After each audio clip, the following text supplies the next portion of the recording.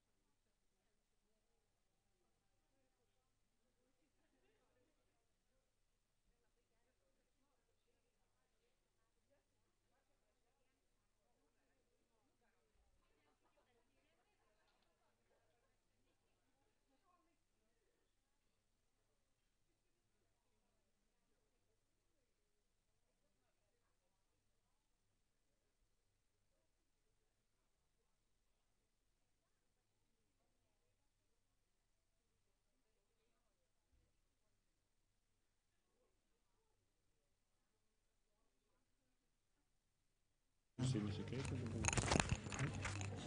Aš kai dar nuskeikiausi. Buvo taip? Tai gerai rašot viską. Kuo gyvenime Čia tiesioginė transliacija yra? Baisu, kai iš vis laiką noriu kartais prikalbėti tokio per tą tiesioginį negaliu. Aha.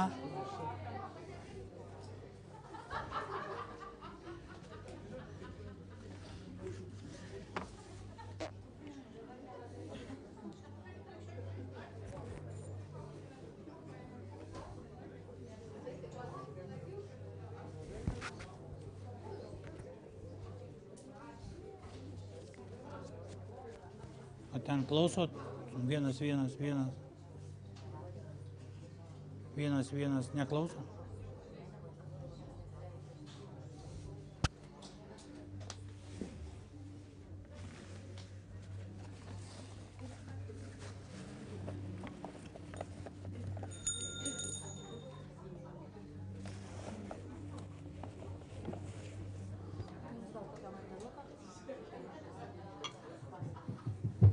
Kaip čia užsirioglinti?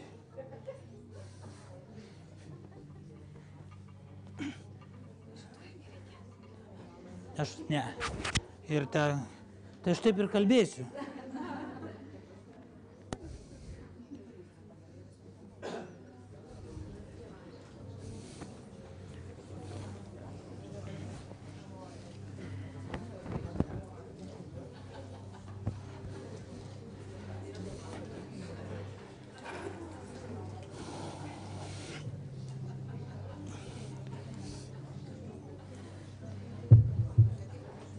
Jau galėjau pradėti kalbėti.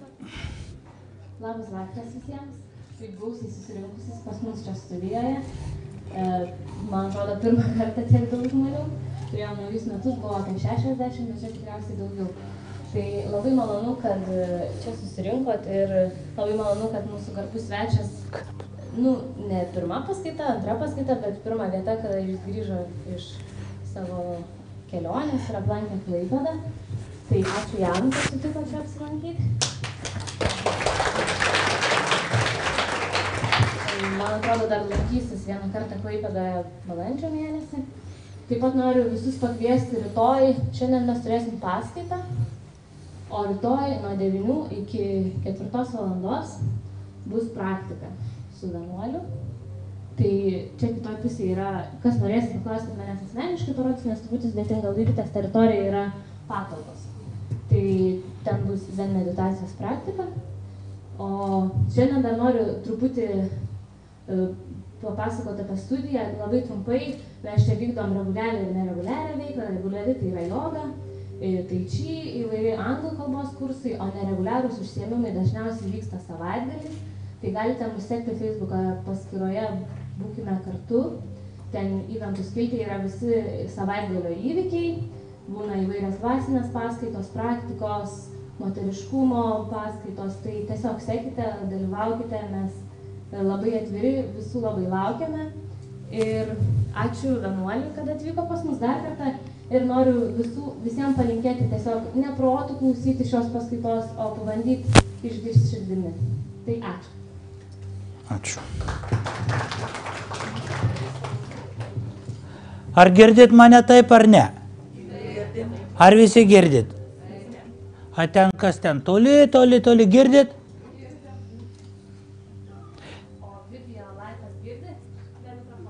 Tai čia yra. Tai labas vakaras, atsiprašau, kad vėlavau, nes truputį užsitęsė paskaita ten tokio vienoj mm, poliklinikoje mes buvom pas. Labai nuostabi paskaita nuostabų žmonės ir nes kiekvieną kartą aš kalbu žmonėm, tokiem, kurie ateina. Nes vieniem vienaip, kitiem kitaip. Ir man taip atrodo. Tai dabar čia yra daug labai jaunų žmonių ir mane jau girdit gal ne pirmą kartą. Tai pakelkite rankas, kas jau buvo paskaitose, kuriuose aš ten kažką kalbėjau. Pakelkite rankas. Ir pakelkite rankas, kurie pirmą kartą čia atėjote ir iš vis mane matot. Dabiški daugiau. Matom per TV. Nu, vot per tą TV.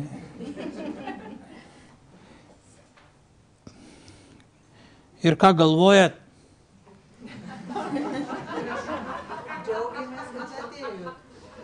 kas tai taip ilgai juokėsi? Na, papasako, kodėl taip ilgai juokėte? Ką jau ten žino? Gal kažkur kart... Na, jei kaip jau. Labai, labai sakau, kolegai, vaikiškos akis. Pas mane? Vaikiškos. Jūs mama? Ne, man tiesiog pasirodė. Aš kaip vaikas. Ne, akis tokios vaikiškos žvilgsnio. Tai gal kvailumas čia pasireiškia? Paprastumo. Nu, ar ne tas pats? Paprastas, prastas kvailas. Irgi neblogai, palyginus su gudriom. Tikrai tai galvoju.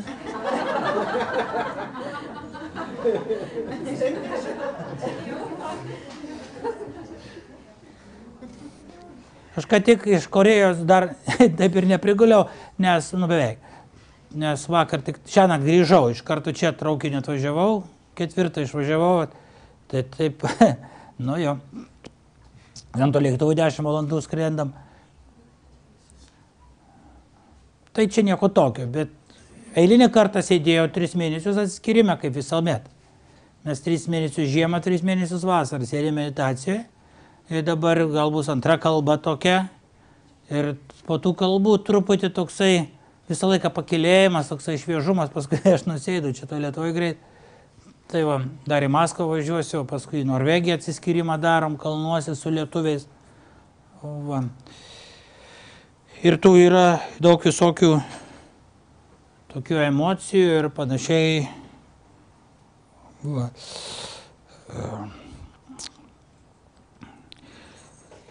Dažnai aš kalbu tokius dalykus, kurie Taip tai iš vis geriau nekalbėti. Nes e, kai sėdi meditacijai jau tiek metų, nu vadinkim to meditacijai, nu, mūsų toks darbas, nes tai nėra, kad tu kažką nori pasiekti, ar tu kažką sieki, jau baigėsi tie laikotarpiai, tos idėjos ir yra tas toks paprasčiausias įdėjimas. Nes tu sėdi su kažkuo, kažkas su tavimi ir viens kitą mes padedam sėdėti, kartu einam, einam, einam, einam, nes po vieną sunkiau. Tai va toksai ir yra. Ir tuo metu gal koks tūkstantis šventyklų, visi vienu metu, ar tai po 3, ar po 20, ar po 30 žmonių, ar po 100 įvairiuose šventyklose pagal dydį, pradedam tuo pačiu metu pagal pilnatį ir užbaigiam pilnatį. Tai va. Nes pilnatis toks laikas, kada galim pradėti ir užbaigti. Mes gyvenam pagal minulių kalendorių. Susitiksim su tavim po trijų pilnačių, po trijų minulių tiksliau. Taip kaip indėnai sakydavo. Ja? Nes tai lengviausia sekti laiką pagal minulį, kai neturi laikrodžio. Ir, tai va, ir aišku, jo poveikis minulių labai didelis. Tai šį kartą tą savo praktiką, nes e, aš toks truputį katalikiškas budistas, sakyčiau, toks truputį idėjinis gal kiek, nežinau kodėl, iš Lietuvos, gal ir ne budistas, bet taip man gaunasi, kad visi tu sėdi toj, ten nėra didelių pastangų, jau man nereikia, kojos jau nebeskauda, jo, meu, meu, meu. An. Tai gerai. Va, ir, ir tada tu skiri kažkam. Tai aišku, tą mes keli ten vienuoliai galbūt skiriam, nes visiems kažkaip aktualu, kad to karo nekiltų tarp Šiaurės ir Pietų Korejos. Didelę praktiką darėm, ir mano šventykla ten keli kilometrai nuo Šiaurės Korejos sienos buvo šį, šį kartą. Nu, tai va. Nes vienuoliai sukuria tam tikrą, jau kai kam pavyksta tokia energija, tokia aura ar ką, kad žmonės tai mato. Paprasti, kurie negali praktikuoti, negali sėdėti meditacijose, jie mato tose žmonėse praktikuosi kažką tokio. Mes tai, nu, sako, tas žmogus kažką pasiekęs. Nieko jis nepasiekęs, esu jau 20 metų jau. Tai va. Bet žmonės tą mato ir jie tiki kažko labiau negu mes. Nu, mes tokie darbininkai esame. Tai jie tenai vaišina ir neša ir, ir lenkėsi, nu tikrai labai rimtai ir dėkoja už tą praktiką, nes tos praktikos dėka taika žemėje, dar va tokia, ne vien tik, kad tas sėdėjimas, ta energija duoda, nes tas pozityvumas, tas mūsų įžadas, nes kodėl žmogus praktikuoja? Dėl to, kad tu prieimi, aš pasižadu su šito kūnu padaryk tą pasiekti kažkokį tą, ką moky mokytojai ir kuo šiam gyvenime, jeigu ne tai kitam. Priimi įžadą, o tas įžadas yra priimtas pirmiau. Kai tik tai žmogui suteikia kūną, jis ką veiksi? Ar tikrai veiksi to kūnu teisingai? Taip, duodu tau jį. Nu, alegoriškai. Nes kodėl? Kodėl vieni žmonės sėdė kažkokią meditaciją, kiti jogą užsiminėja, kiti tas, o kitas žmogus labai nori su kulkosvaidžiu kažkam šaudyti už pinigus. Nu ir viskas. Tai vienur pašaudo, tai kitur. Kiekvienas va, turi tas. Ir aišku, tas aktualus dalykas vis vien, metams bėgant, žinai, kad greitai jau išeisi, visien. Ir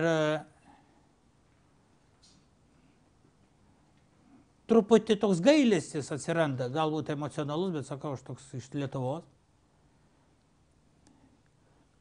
kad 2500 metų atsirado Buda pasiekė prašviesėjimą. Aišku, jo mokinys Devadata išdavė jį, išėjo. Jo geriausias mokinys Magalianas ar Magellana buvo nužudytas prieš mirtį. Dėl to, kad jisai mokė taip gerai, kad tie kiti pseudo mokytojai buvo kaip šviesoj pasirodė, kad jie negeri mokytojai. Tai jiems labai nepatiko. Ir jie pasamdė ir nužudė tą mokytoją. Nu, suprantat.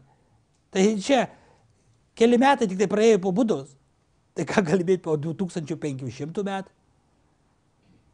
Čia Judas išduoda mokytoją, kuris su juo kartu buvo. Įsivaizduojate, jeigu čia dabar būtų Kristus. Ja, ne? Nu baigtų, išduotum sekančią dieną. Nu gerai, ne. nu pagalvokit psichologiškai.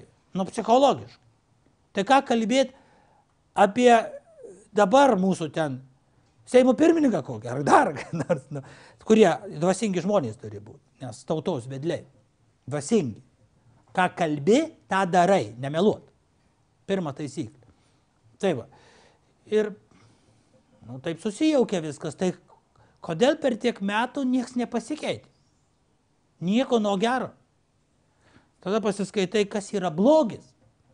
Kas yra blogis. Ir kodėl mes praktikuodami, ar tik raminam save, ar darom kažką tai, kad būtų žmonės laimingesni, kad mūsų vaikai nebūtų nužudyti, išprievartauti, kad jie nedalyvautų kažkokiai nuo kariuomeniai už kažkokio verslininko idėją atkovoti kažkokią šachtą iš kito žmogaus ir įkurti kažkokią net valstybę. Absurdas.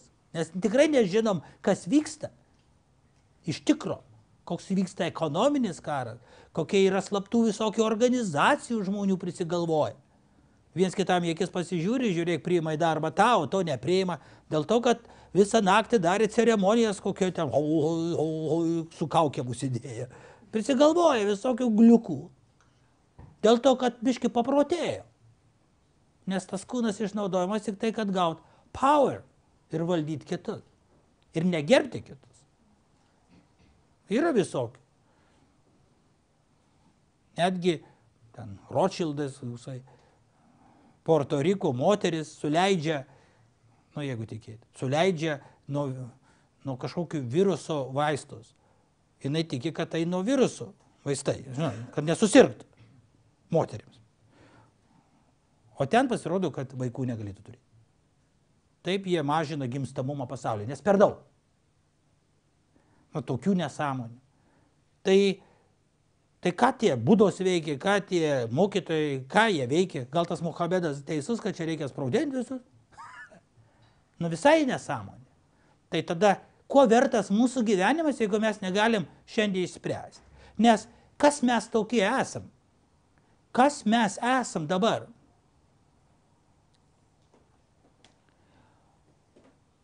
Ko pasi- pasiekoje mes atsiradom? Ko pasiekoje mes atsiradom? Ko? Kad mūsų tėvai gimė ir mes jų dėka atsiradom šiam pasaulyje? Nu, mūsų neklausė, jo? Pliumt ir išlindom. Plius ir vaikų mes turim taip pat, nes nu ką veikt? Dviese. Dabar jau yra ką veikti. Nes moteris ir gimt gali. Nu, vyrai tai gal galės. Ką čia gali žinau? Susimaišo. Bet tai rizika paleisti vaiką į nežinę kažkokią. Kas garantuos už jo saugumą? Šeima? Mažai kas. Gatvė, visuomenė, valstybė. Kas tas, kas atsakingas už tai, kad tas žmogus pragyventų. Naudoja tokią frazę čia kai kas. Pilnavertišką gyvenimą. Pilnavertišką. Nu tai vienu žodžiu turėtų pinigų. Pilna vertybių mano gyvenimas. Pilnas vertybių. Dvi mašinos, garažas ir namas. Bet tai tas nieko neduoda. Nes tu jo nieko neįsineši. Į mokslus gali iš... Atrodo, Nyčia pasakė. Paveldėtas turtas sukuria blogį. Neiškovotas, paveldėtas, neuždirbtas. Kiek tu ten duosi tam vaikui, tiek tu geriau, kad būtų, tiek jisai bus silpnesnis. Tai nežinia, kaip čia elgtis. Tai kas tas blogis? Jeigu jis yra, nu jeigu mes prieš jo. Aš dažnai čia pasiskaitau.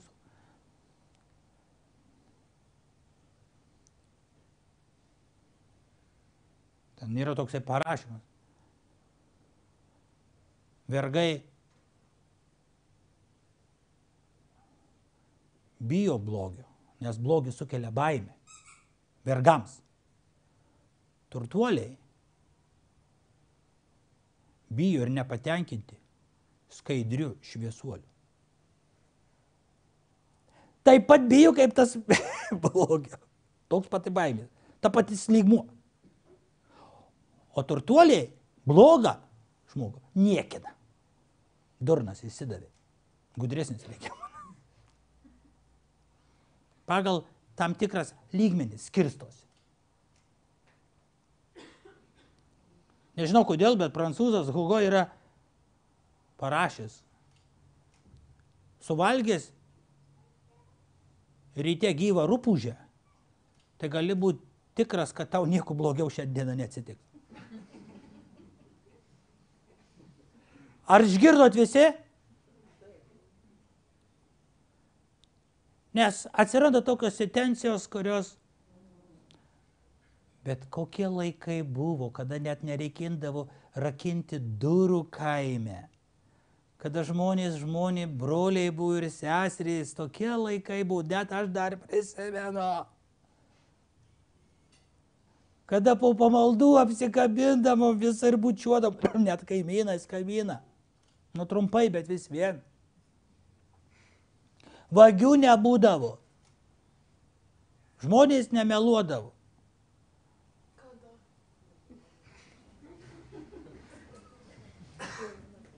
Tada, kai aš buvau, dabar kol kas nėra to. Nėra. Ir žinot, kas tai rašė? Senek. Pagalvokit, kaip senai. Lyg tai aš dabar būčiau sakęs, bet mes girdim kiekvieną dieną. Ir tada jisai užbaigia, kad nei to gero, nei blogo kaip tokio nėra. Tik yra slėgis ir atoslūgis visuomenė. Kaip vanduo, klaipėdiečiai žino, aslogis nuo mėnulis. Tai sėdint tose meditacijose, ten nėra mąstymo apie tai. Bet Buda, kuris meditavo, jisai nepatenkintas buvo nei pirmą mokyklą, kuriai pateko pas mokytoją, nei antroji, nei trečioji. Dėl ko? Nes jis pas pirmą mokytoją tai jos galėjo ir vadovauti, jau jam pada, atidavė visą mokyklą, sako, tu greit pasiekė ten sąmonės suvokimą, ten tapti vieniu, būti nebūdamas, ten visokių užposų. Bet jis puikiai žinai, tu esi pats su savim. Nei tu kam reikalings, nei nieko, jeigu taip. Tu esi pats su savim. Ir tu vienas žinai su savim, koks tu esi iš tikrųjų.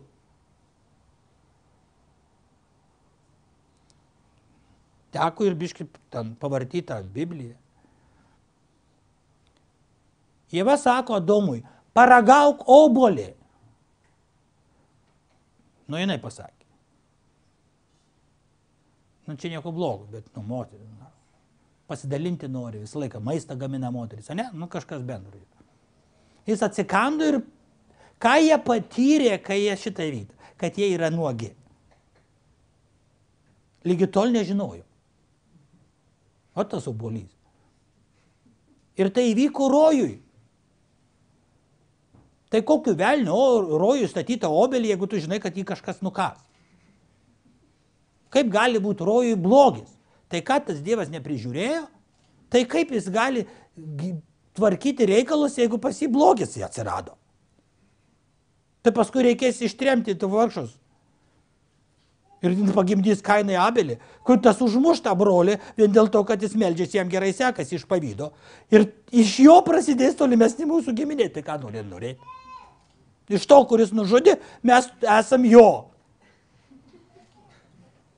Tas, kur geras buvo jau nužudytas.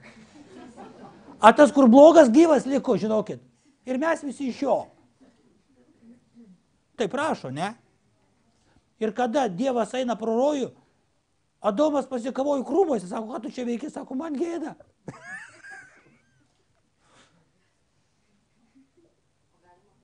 Taip. O man visada vaikystėje knietėjo, o tai su kuo tas blogasis susiporavo?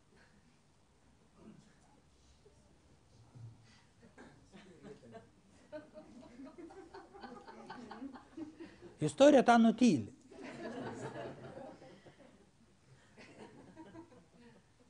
Nes tai buvo, kad atsakymo nėra, tai gal jūs ir žinot.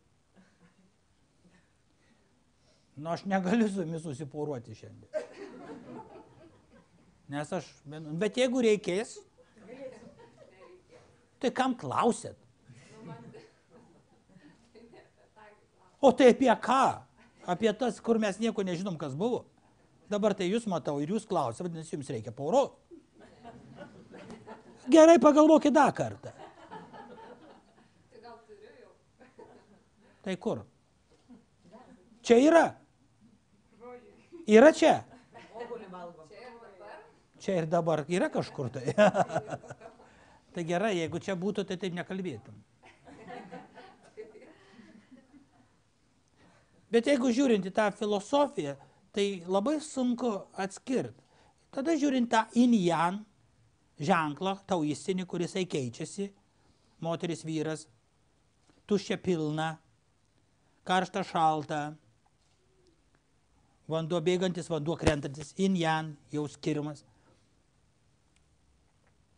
Jame nėra nei to, nei to. Negaliu už tos viso. Tai yra energetinis savoka. Bet kada saulė teka, labai smagu, bet kada duoda man per snukį, jau ne. Nu, tai kaip du, du dalykus suderinti, kaip, kad abu du vienodi. Suprant? Visiems norisi, kad visą laiką būtų geriau, o kad blogai niekam nesinori.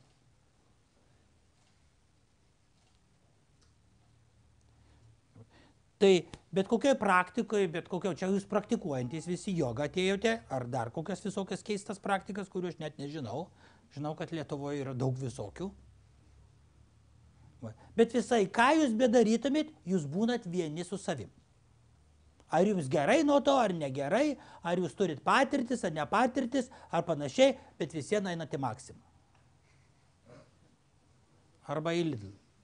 Visiems elgiamės kaip žmonės. Ir ta praktika duoda žinoti ne kaip tau ten gerai, kur nors klausantis gongų ir dar panašiai, o kaip tu elgiesi su žmonėm. Ir kaip tu elgiesi su žmonėm, tik tai tau pačiam geriau žinot.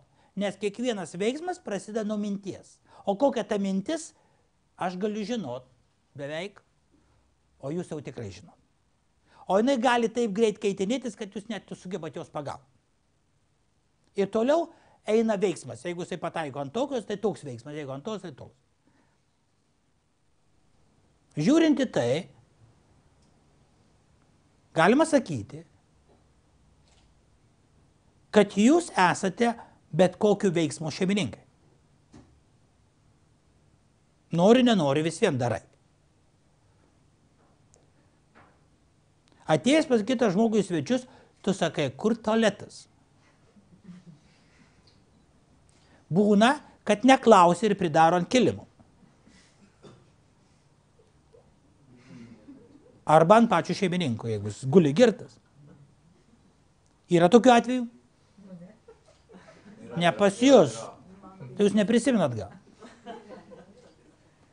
Yra net tokių atvejų.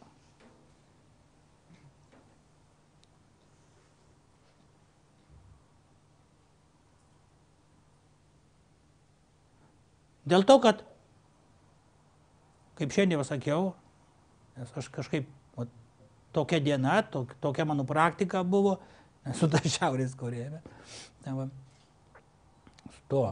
Tai nepriko čia Šiaurės Korėja, bet pats karas, jis gali būti gerai, gal blogai, bet mes nenorim, kad žūtų vaikai. Beprasmiškai. Ir viskas. Paprasta. O toliau ten gerai tai ar blogai tai. Aišku, karas tarp Šiaurės ir Pietų Korejos jums visai neblogai atrodytų čia. No, vis geriau negu karas su Rusija Lietuvoje. Nu, jeigu dabar jau tiesiai šviesiai. Ar jūs galvojate, kad jis skiriasi? Ar tai galvojate, skausmas bus skirtingas ar ne? Aišku, skausmas bus tas pats. Ai, skauda, kojos nutrauktos, taip žmonės miršta, jo bombų sukėlė. Bet ne čia, ten. Bet jie kentės taip pat, kai kentėtumėt jūs, jeigu kas nors čia blogo atsitiktų. Taip? Bet jeigu ne čia, o ten, tai jau visien geriau negu ne čia.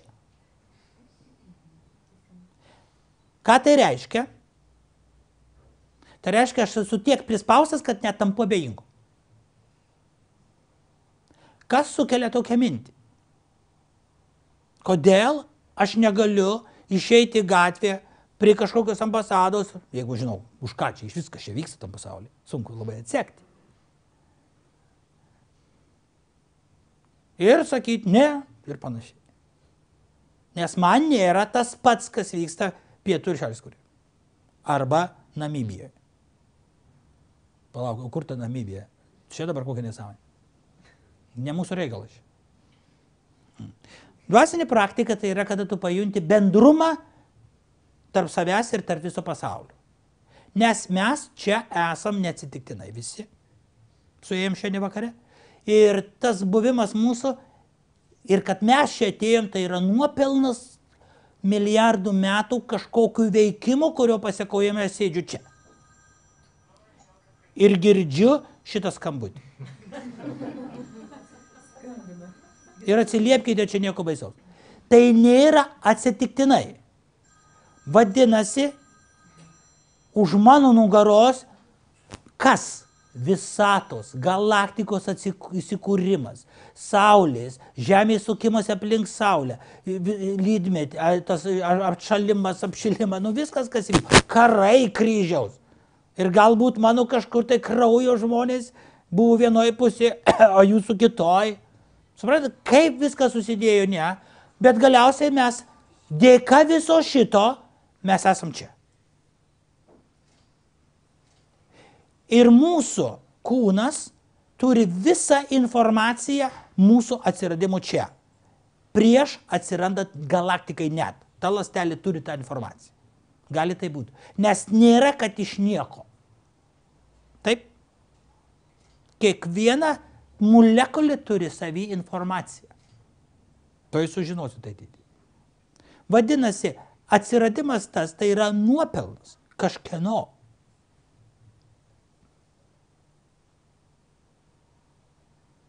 Bet tai kaip atsiradę mes esam neišmanėme, taip ir numirštam neišmanėme. O visus gerus dalykus mes naudojam tik tai paprasčiausiai atrakcijai.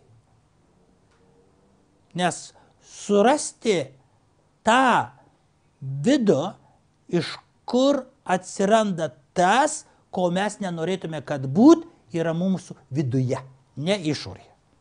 Tai yra dualizmas. Tai yra tie du mąstantys mūsų draugai, kurie ginčijasi. Galvoj. Kad bet ką tu darysi, nu nebent tolėtė jau gerai užvarys, tai ten bus viens. Jeigu tu ką nors gyvenime tau, kas nors ten apkabins tave ir sutapsi su kažkuo. Bet tai žinai, po trijų metų tą patį paduosi į teismą. Bet tuo metu buvai viens. Bet kai padavė teismą irgi buvau pikta. Tas pats žmogus, kitoks santykis. Tai jis kals rūpužį. Nu taip. Pateisinantis. Tas kis protė dar pateisin. Tie du galvoj, jie visą laiką, nežiūrint, kokį tu šventą užimsi. Bažnyčia ar kur visą laiką. Nu tai jo, o gal taip, o gal tas, o gal taip, o gal taip. Kas jūsų galvoj nugalės, toks ir pasaulis bus. Viskas.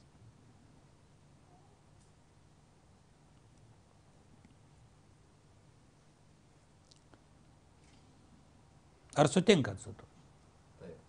Ar ne? Čia yra. Kas iš jų man asmeniškai tikrai tai jaučiasi.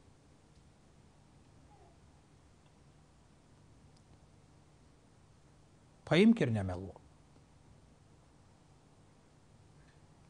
Čia jau antrą kartą, bet va taip. Viršininkas atėjo šiandien, aš nuturėjau nemeluoti. Susirašiau, susirašiau visus punktus, nes labai sunku. Tu, aš net neprisimenu, kad aš meluoju per dieną. Pasirodo, 85 kartus pamelavau. Bet jeigu viską vadinti tą, kas netiesa melu, kuris nėra gerai, blogai, o aš, aš net į gyvenimą, ir mokytas, tau tai viršininkas ateina, nu, biški su kvapeliu. Irena, kava herci? Pasakyti ne, negersiu, nes nenoriu, kad tu, nu, kažkaip per daug tą tiesmukišką. Gali sakyti ne, tai tada užpyks. Geriau ryte, dabar jau nenoriu. Nors principai ryte negeriai. Tu jau pamelavai. Nes akivaizdoj to nepatogumo, tu neradai nei vieno kito išeities būdo, kaip pameluot ir būti nepriklausoma. Labai aiškiai matosi. Tik tai situacija, nu net tokia labai jau stipri. Principė nelabai. Pumt ir pamelauja. Vien dėl to, kad būti nepriklausomai nuo tos situacijos. Tai kad visi taip daro. Lyg tai ir būtų įprasta. Bet tu pažeidi tą, ką tu nutarėjai. Nemeluok. Tai tik tai vienas įžadas iš 250 vyrų ir 350 moterų, ką mes priimam. Nu, joms užtektų 10. Pagal tradiciją, jeigu turi tai tradiciją. Nu, tiek to. Nemeluok. Tai darbą prarastumėt. Susipyktumėt. Kaip elgtis?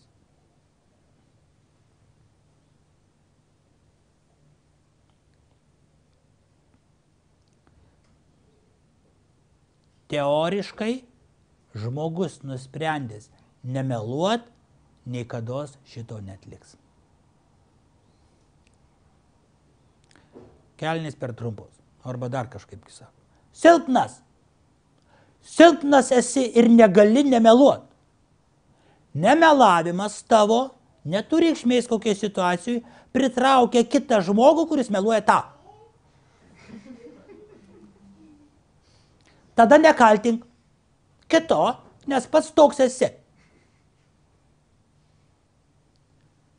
Nutarimas nemeluoti ir nesugebėjimas meluoti, tiesiai šviesinė. Nesugebėjimas nemeluoti, nesugebėjimas nemeluoti sukelia vidinę kančią. Rūpūžė, kodėl aš tau negaliu daryti? Silpnas esu. Silpnas esu sukelia kančią, nepasitenkinimą vadinamą duką. Ir kai kitas žmogus, kuriam pavyko nemeluoti savaitę laiko, mus erzina, nes mes to rūpus negalim. Aš mesiu visus savo darbus. Aš įsuksiu į jų penkias kameras. Aš įdėsiu jam mikrofonus. Nu, rūpužė visiems meluos. Aš apsimelavęs jau tiek ir tiek. Man nusispjaut, kaip aš gyvenu. Aš turiu rūpužę surasti, jis visi meluos. Ir galiausiai žmogus pravažiuoja raudoną šviesą. Va taip, sakiau, kad sukčius. Dabar kodėl atsitinka tas, kad aš, nesugebėjantis nemeluoti, ieškau kito, kurisai nemeluoja tikrai. Ir man jisai sukelia neapykantą, nepasitenkinimą. Nes jis yra veidrodis to, ko aš negaliu tapti, būti. Ir jis mano yra blogis man priešas, nes jis trukdo man gyventi. Aš viską darysiu, kad jis pameluotų. Jeigu jisai tikrai toks švarus, aš įstosiu į STT ir apskūsiu jį, kad jisai pavogė ką nors. Tegu ten aiškinsi, kol išaiškės spauda prašys. tai visiems jisai bus. Toks mano protas, nes aš negaliu gyventi su tuo, kuriam pasisekė tai daryti, o man ne. Ką tai reiškia?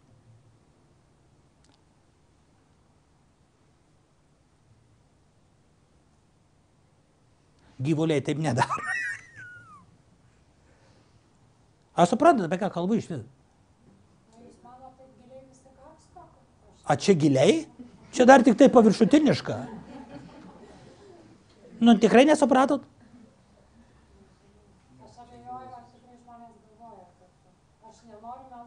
Tai dabar pagalvoju. Nu, tai Tai iš tam ir kalbu, kad pagalvoju pirmą kartą gyvenime. Nes tai kyla nepasitenkinimas kito. Ką aš dabar sakiau, kiekvienas tai turi.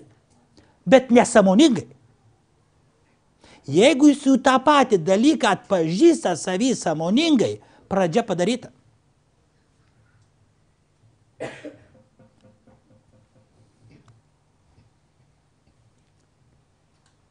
Mano vidinis demonas nori maisto iš kito nuodėmės. Tiesą pasakiau. Čia žinokit ženklai. Mano vidinis demonas nori maisto. Vadinasi, tie du, kuris vienas gali būti dieviškos prigimties, kitas, jie viduje pas mane. Ir tas laimi, kas yra ne. Ir jisai sukuria dar kitą į dar kitą. Tada mane apgauna, manim naudojasi ir aš dirbu žmogui, kuris meluoja man. Sukčiauja. Yra turtingesnis už mane dešimt kart daugiau ir žiūri tokiam akimis, sako, Zosytė, kaip tu šiandien gražiai apsirengus. Kokiu tu asilę man sakai, kai tu su dviejais Mercedesais pas mane mama serga. Taigi tu vagis, tu man neduodi uždirbti. Bet tu neturi net išeities išeiti darbą, nes tu niekur negali. Tu tampi vergu.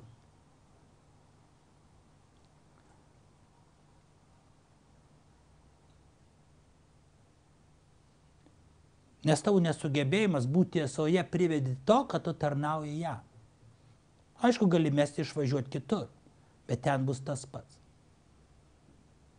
Gali tapti vadovu, tada tu voksi arba turėsi, tada busit paldinį ir elgsis taip, kaip tau. Man tai padarė ir aš taip dabar tau darau. Korėjoje nori tapti viršininku, reikia sumokėti didelį kyšį. Pakopam. Ten dėžėm skaičiuoja nuo senų laikų. Viena dėžė 10 milijonų dolerių. Tai jeigu gera vieta, tai dvi dėžės. Daleis. Daleis. Ten ne, gal ne dolerių, ten jų pinigais. Bet didėžiai, obolių dėžės, nes jie neturėjo banko, tai jau dėžėse laikydavo senoji. Tai sako, kiek, kiek ta kainuoja pozicija? Trys dėžiai, sako. Nu tai paskaičiu. Tai jokių bėda, nes kai tu taps viršininku, tau duos. Tai nieko nepraras. Tai žaidimas. Pati korupcija yra ne korupcija. Tik tai reikia žinoti tas taisyklės. Tai čia visiems beveik aišku. Aišku, ten kas nors paima neteisingai, pasidaro, tada jau visi, o, negerai, paėmė negerai. Ne pagal tradiciją vogi. Ot. Turi būti tradiciškai visur. Tradiciškai. Mes šitą praradome. Nes daug verga. Tai va šitas vidinis. Jeigu tu dvasiniai praktikų metu tavo tas gėris pradės nugali ir jis tampa vadovaujančiu, Nuo pat pradžios jogos, nuo pat pradžios gongų klausimas anklodė užsidėjus, nuo pat pradžios kažkokias įsmėlių užsikasęs su vamsdėliu. Bet kokią praktiką, kas, kas būtų užsikasę čia? Yra tokių, kurie būtų užsikasę smėlį. Nebuvo?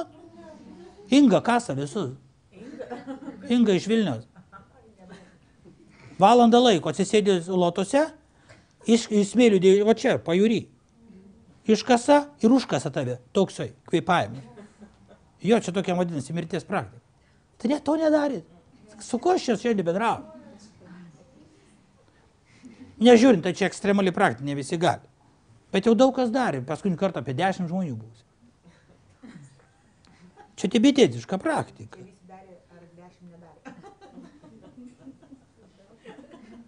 Tą savaitę palaikyčiau. darant tas ekstremalias praktikas, darant tos dalykus, jie specialiai darosi, kad išlikime atsiranda vienas. Blogių ten nėra. Atsiranda vienas kažkas toks.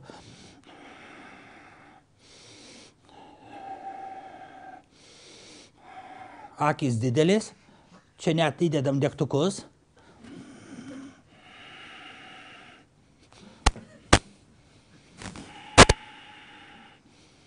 Nuo antros lygiai trečios naktis. Va čia sunkiausia valanda. Čia su pagulė eina. Akys atrodo, to iškris tokios išplėstos. Kai aš paskui su paguliu, nes kiekvienas turėjant pas paguliu, kai aš matau tas akis, nu išprotėjusi. Bet žinot, čia kamerų nėra.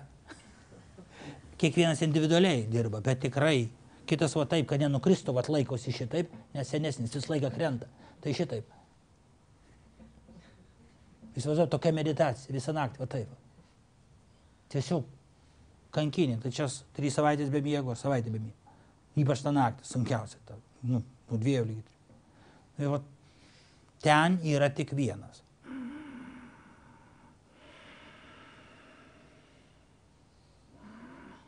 Atidirbta jau technika, viskas.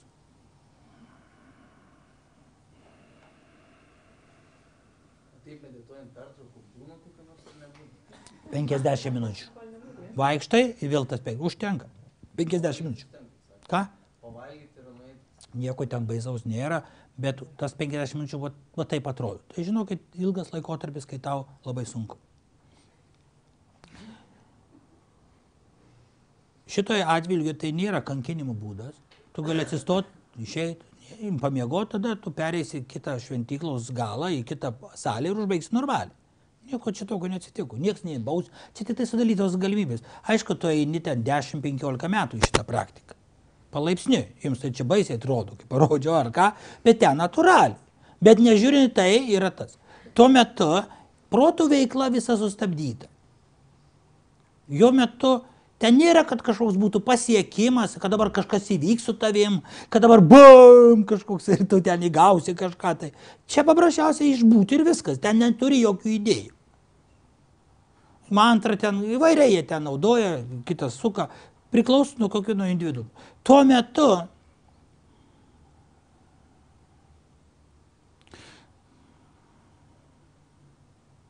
vienintelis dalykas, atsenukas, visi va taip, o tas, kuris mūsų vedlys, 75 metų. Pas jį to nėra. Klausykit, aš jau žinau, kai miega. Žinau, kai miega, mertų matau. Mat, kai išmiego, tai va.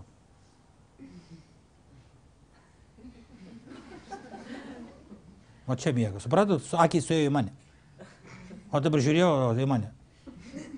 Čia yra miegas, kai akis atmerktos. O čia,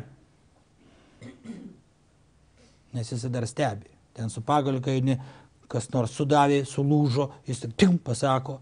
Jeigu kas nors... Jis valdo dar tą situaciją, nes jis atsakingas. Ant jo viskas, be meistro, taigi mes susimuštume. Ten karma eina, ten viskas išeina. Bet čia jau paskui jau ten ramybė, bet lygiai to reikia daryti. Ir ten, ten atsiranda tas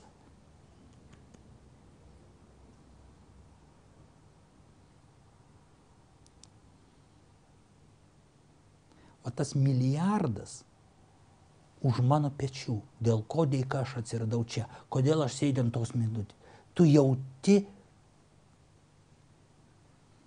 tu jauti, kai, nu čia ne ideologija kažkokia, čia tokia, tokia, bet tu jauti tą, tą atsakomybę. Ten nėra to, kad tu aš. Ten jeigu būčiau aš, eikit jūs po velnių. ten tie greitai išeina. Ten atsiranda tas mūsų vadinamas bodhisattvos. Tas atsiranda tas tu ten viską girdi, viską matai, ten atsiranda tas praeitis, ten atsiranda tas. Ir va, aišku, aš truputį kaip aktorius, kaip tai, bet maždaug ir, ir vienuoliai kalba, sakau, aš idealistas, bet čia yra tas, kada tu lipi tą kalną, tų žiburio per tos lavonus, nu, kurie akmenim pavirti. Nu, jeigu ta yra, žinot, skaityti laimį žiburį. Tas paskutinis, kurie, taigi jis net nežino silpniausias, jis ten iš vis ne, ne, nebūtų ten raumeningi, tai krito pirmieji. Jis ėjo tą žiburį paim, tai jei jis ėjo, atsisuksi, viskas tau. Tas atsisukimas, tikrintis protas visą laiką, tai yra tas antras aš. Tas demonas. Hei, ojei, viskas. Ten turi būti toks ryštas, tikėjimas, tos šešios paramitos, kurios veda tave. Ten turi būti tas teisingas kažkoks gimimas per kažkokias kenčias, kurias dabar dėka milijardų pagaliau davė tau. Ir jie visi, kurie niekada nei gimė, nei mirė, tiek tavo probūtį, tiek te visi, jie tam ir sukūri tave, nu tu gali šį kartą, čia padarysi kažką. Tai nėra kažkoks herojus. Tai paprasčiausiai, wow, tai aš dėl to atsiradau. Nu tau kaip tu galvoji, tiek daug dirbo kad dabar tu čia būtum. Tai tu šiaip savo čia mygtukus paspaudyti arba stogram, tai jau mes darėm, darėm šitą, nieko gero. Jau visą žinom, net seneka rašė, praeitais laikais tai gerai buvo. Viskas kartojasi, nu, tai galėtų iš to ratų išeiti dabar, rupus, miltai, nu tu. Ir ne aš. Ir tu jauti tą. Uuu kad tu eini tais, kad tik neatsisukti. Tai tas pirmas įžadas žmogui įgaunant kūną. Pirmas įžadas, kai aš klausdavau meistrę, kodėl mes nutarėm praktikuoti, jis sakydavo, pirmas įžadas. Nes tu pagaliau teisingai naudoji tą kūną, kad jį tas visas čakras, auras, taškus, kompaktūrinis, visokius sudėjimas, mūdras, ko dar ten yra. Visokių mantrų, ko tik tai nedarai. Tam į tą vieną, į tą vieną. Ir jame yra tas rezultatas. Į tame tas rezultatas.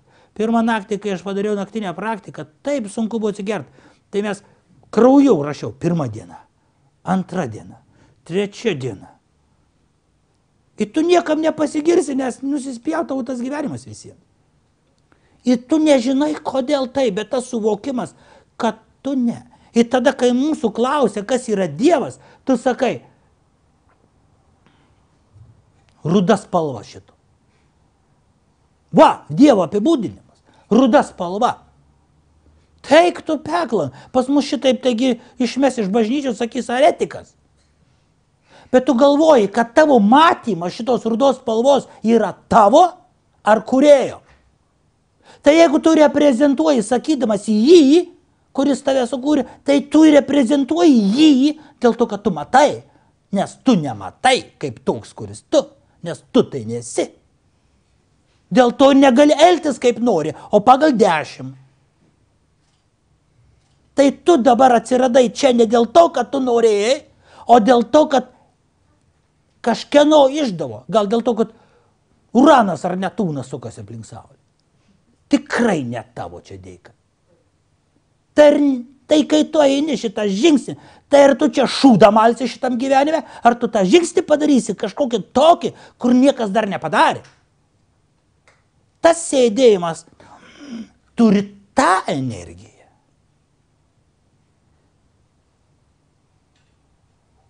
Tuomet tie du išnyksta kaip niekingi, kurie mušasi tarpusavį ir atsiranda vienas aiškus, nepriklausomas nuo gimimo ir mirties dalykas, kurisai yra nežinau. Jeigu tik tai įvardysi, nuslys ir nugrūsi. Ten yra, ha, prieš atsirandant tam mąstymui, kuris gali apkalbėti apie tos du. Tai ką kalbėti ten? Aš jam parodysiu, nu, vis vien jisai padarys, vis vien jis pameluos. Kur ten tie nekingi dalykai? Ten net nėra apie ką kalbėti. Bet jame atsiras širdis dėl to, kad mūsų partija išrinkta nepateisino Lietuvos lūkesčio, atsidėsiu meditaciją. Na, absurdas. Dėl to taip pat. Bet nebaksnosi pirštu, nes vis dėlto taigi žmogus. Ateina pirmininkas, kalba ten kažkas, aš net per televizorių žiūrėjau. Geras žmogus. Tik tai tokiai situacijai reikia gudriam būti, meluoti, jis negali. Ir visi pat pažįsta gerą žmogų ir jį vadina kvailiu. Įsivaizduojat lygi, ko gali nusiristi visuomenė, kur jinai gerą žmogų, kuris nieko blogo per daug gyvenime nepadaręs, tik netikėtai atsisėdu tą vietą, tikėdamas, o ta vieta senai prišikta ir apšikta, švariam ten vietos nėra. Ir jisai nukalba ten nei šį, nei bei tą, bet viduje jis jaučia, kur aš čia dabar atsisėdu, nes iššūda rupūžė. Išrinko tauta mane iššūda atsisės. Gėda! ir stebėsi dėl to, kad geras. Geras visą laiką silpnas, pažeidžiamas ir pajokos objektas mūsų visuomenė. Blogas, gudrus, gražus ir sušlipsu.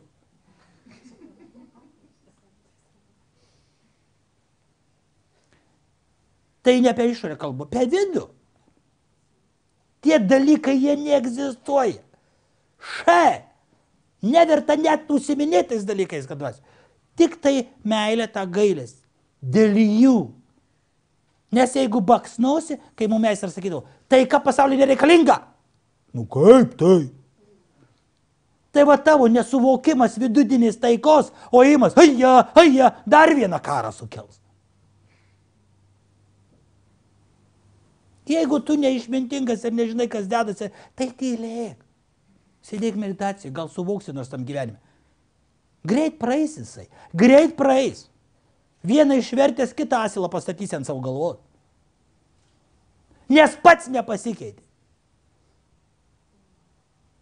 O buvo galimybė, pavyzdžių pilna. Ko tikėti? Dėl to pas mus altoriaus tai nėra, o veidrodį pasistatėm. Pasižiūrėk į veidrodį. Buda, kaip išėjo Anada, klausė, kaip mums būti be tavęs. Jis paaiškino veidrodžio sutrą, veidrodžio mokymas. Tu tai gali, aš tau nereikalingas.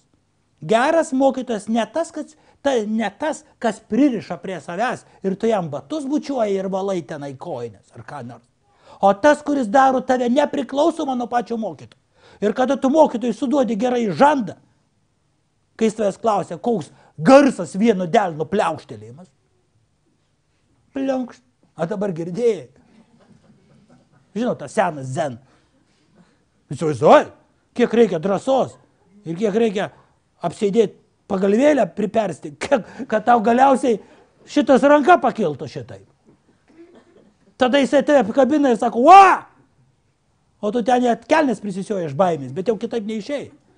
Nes ten protas neveikia, natūrali būsena atsiranda, natūrali ne, neišmastyta. Pum, o jie tau. Gerai, gerai, gerai, gerai, laikyk tai, laikyk tai. Tai yra tai. Ja, biškai gal per daug. Tai va.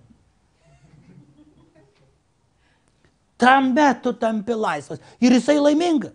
Jis laimingas, jis gali numirt, nes pas jį trys laisvi mokiniai atsirado. Ot kur mokytas. O galėjom į daržą kasti. Ir mašinai sumesti jam. Ir dirbti. Kaip mums pasisi. Guru. Veidrodis. Hop. Tu gali tai. Nu, bet nenoriu. Tai va.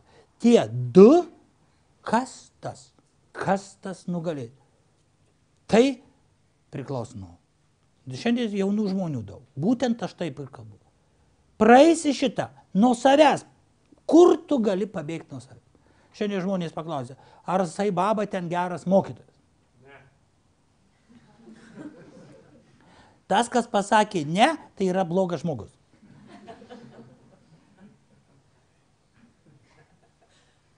Taip.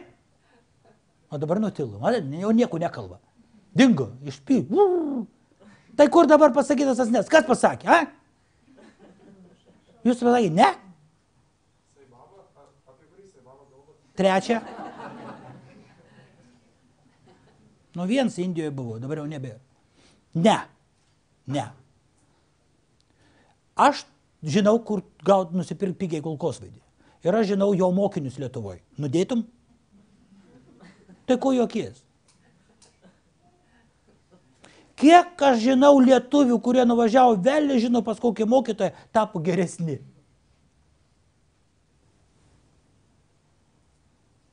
Taip, aš žinau svarbiausius mokinius. Geri žmonės, pozityvų.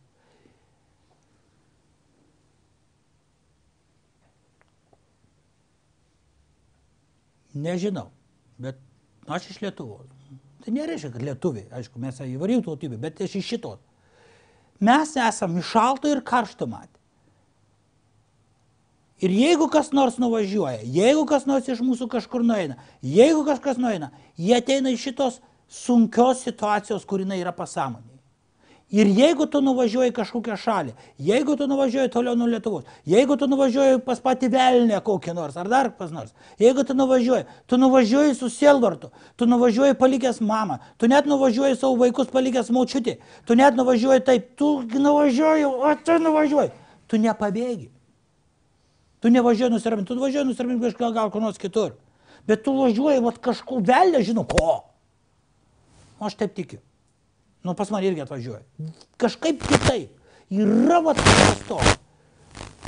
Nes kiek tu, paskui gal mokytas sakydavo, kam tu pas mane atvažiavai? Sako, gaidys pas jūs gėda rytais, kakareku. Taip, nu va, sako, mokytas tavo. Paukšteliai čiulba, taip, nu va, mokytoja tavo. Kokiu velniu pas tave važiuoti? Norint tą suvokti, reikia ir pas mane velniu nuvažiuoti. Bet tu iš jo dėl savo to sielvarto, dėl savo meilės, dėl savo kažkokio, tu atrasi visai kitą dalyką.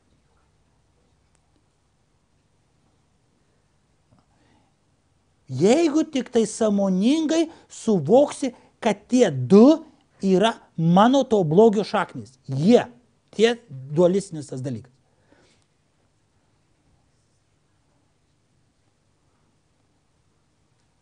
Pirmas mano mokytas tai iš vis, nu, aš sakyčiau, nu, visai buvau nuprotėjęs. Vadinkim taip. Nors dabar aš jį labai gerai vertinu, bet palyginu su tais kitais, kurie atvažiavo, nes į Lietuvą niekas neatvažiuodavo. Kažkas prisiskaitė knygučių ir sako, va taip, ir mes ieškojom mokytojo. Sakau, kur suras mokytoją? Sako, žaliakalnių pirtį ateina. Aš eidavau žaliakalnių pirtį. Žaliakalnių pirtį ateidavo jisai su barzdele ir jo mokiniai, karatistai ten, kovų menų dar, karate tokia draudžiama buvo tais laikais, tai jie tokia. Ir aš tada prie jo, prie jo sakau, aš noriu pas tave mokytis. Jisai sako, ateik ten ir ten, aš pas jį atėjau kaip pas didžiausią mokytoją. Vienu žodžiu, mes ten turėjom, nu, vėl nežinau, kokias patirtis. Ir mes buvom jo mokiniai trumpą laiką. Pantomimą aš turiu mokytą kestutę domai. Ir mes buvom su Piešina Aurelium, kuris yra Krišnos vamis dabar, su Kestučio Augustaičiu, kuris dabar turi cerkvę ir yra popas St. Peterburgė. Aš čia visi vaidinom pantomimo spektaklį. Nuogi ten laksim po tą sceną. Nu ką pasakydavau, tą darydavau. Dėka to, kad mes ten skaitėm vidūną, kad užsiminėjom kažkokiam ten praktikom, kad Aurelijus pasaudindavo mus į savo į meditaciją pirmą kartą. Sako, kaip, kaip taip dabar tas kojas nuleis, su laiku bėgant nusileis pačios. Laukdavo, laukdavo. Nes jisai jau jogą užsiminėdavo, jisai ten jau pas mus buvo pažengęs. Tada nueidavom pas jį tą Hare Krishna, Hare Krishna, Krishna Krishna, Hare Hare Hare. Eidavom, alaus išgeriam ir vėl pas jį Hare Krishna. Hare. Nes smagu buvo. Ir tas Bahava Gita labai kvepėjo smilkalais. Nežiūrint į tai, aš papuoliau kur? Va ten ir kalbu dabar čia. Tai matot, procesas pas kokį mokytą. Ne.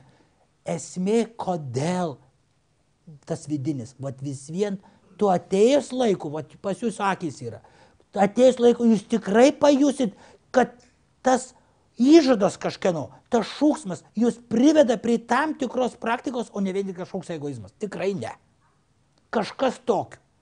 Ir jau viena mergina irgi ta lyg tai taip ir taip, ir dabar kai pradėjo ten visur važinėti, ir tas ir tas, ir jau matai akise, kad, kad laikų reikia, jau, jau tu jauti, kad vat,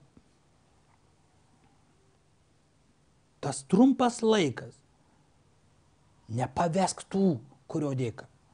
Mes negalim prisiminti pro, pro, pro prosenelių. Žinot šitą pasakymą.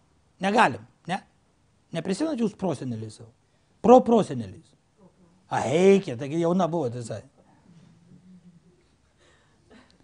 Na čia toksai juokas, bet suprant, kas tai yra. Ta, ką, toks, bet jūsų nosis grinai kaip jos. Jeigu nuotrauką pasižiūrėti. Mūsų veidas, mūsų kūnas susiformuoja pagal tėvus, pagal senelius, pagal protus. Taip. Aišku, aš galėčiau būti afroamerikietis. Bet mano giminė to nieko nebuvo. Gal medituojant pavyktų pasikeisti. Jeigu jūs mane mokyti afroamerikietį, tai tur jums pavyko manį pamatyti, tai, o ne man pavyko pasikeisti. Aišku, jūs galite matyti meditacijos metu. Jo. A? Tai yra kodai, kurie mes jau turim, paveldėję, paveldėję, paveldėję. Ir tas dalykas, kada tu atsisėdė pagalys, ar tą maldą, kada ateini, su, va,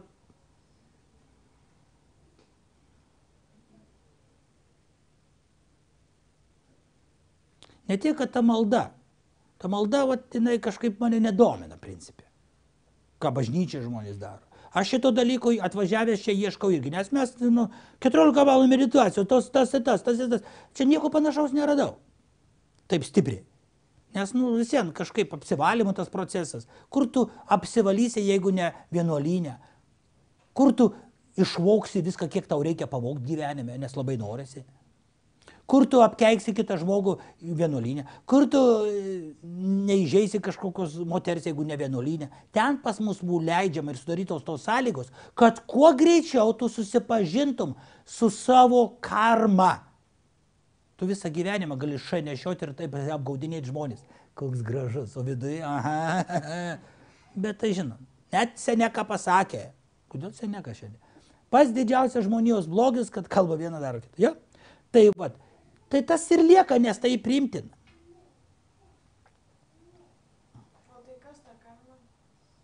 Kad mes kalbam dabar su tavim.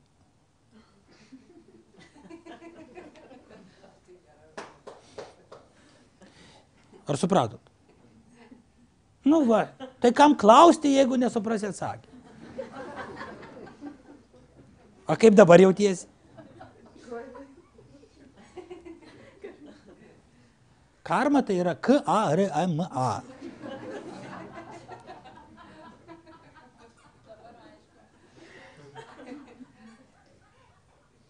Ir, ir tada nueini pas vienuolius, kurie, vat, man patinka, gal benediktinai. Ir ten vienas yra iš amerikietis vienuolis, palendrių vienuolinė.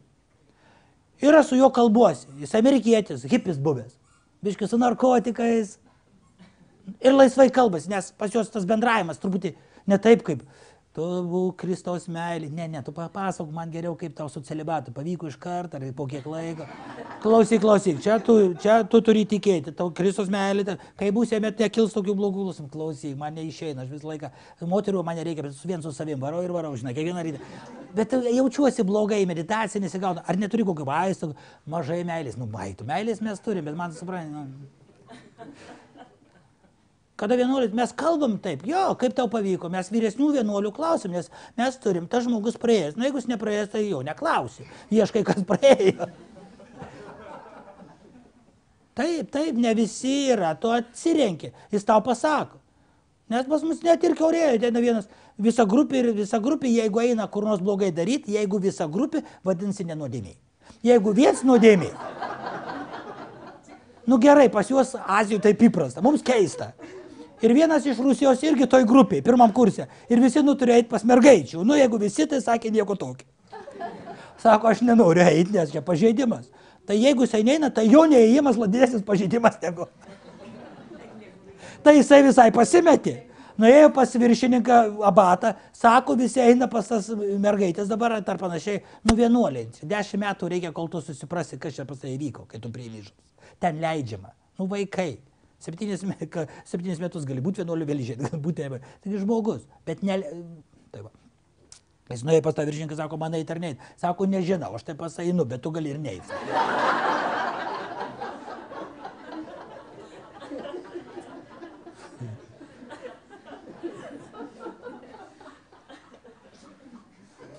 Žinokit, tie dalykai, kad tu, aišku, čia neoficialiai, čia kom- komedija, aš dabar vat į televiziją. Bet kai tu išgirdi tuos dalykus, kurie tikrai gal nevertėtų kalbėti, bet aš kalbu atvirai, ką jie reiškia? Tai reiškia, kad melų jame nėra. Pirmas. Antras dalykas, tai nereiškia, kad žmogus visą laiką eis, nes tas bandymas turi būti kažkokia meditacija, kuri netokia stipri, kad pas tai noro dingsta. O jeigu tu tą norą stabdai savo kažkokį dalyką, tai viena diena taip sproks, kad mažai nepasirodys. Celibatas tai yra pliusas ir minusas tavy, kuris suteikia energiją, praktikai. Tai nedingsta ta energija. Tu energija turi būti, bet jinai turi būti pliusas minusas tavy. Nes vyras, moteris, pliusas ir minusas. Kada dviese ir jeigu jie ten yra vairių technikų, tada jie taip pat pasiekia, čia yra tantrizmas ir dar panašiai, jie taip pat pasiekia dviese tą lygį.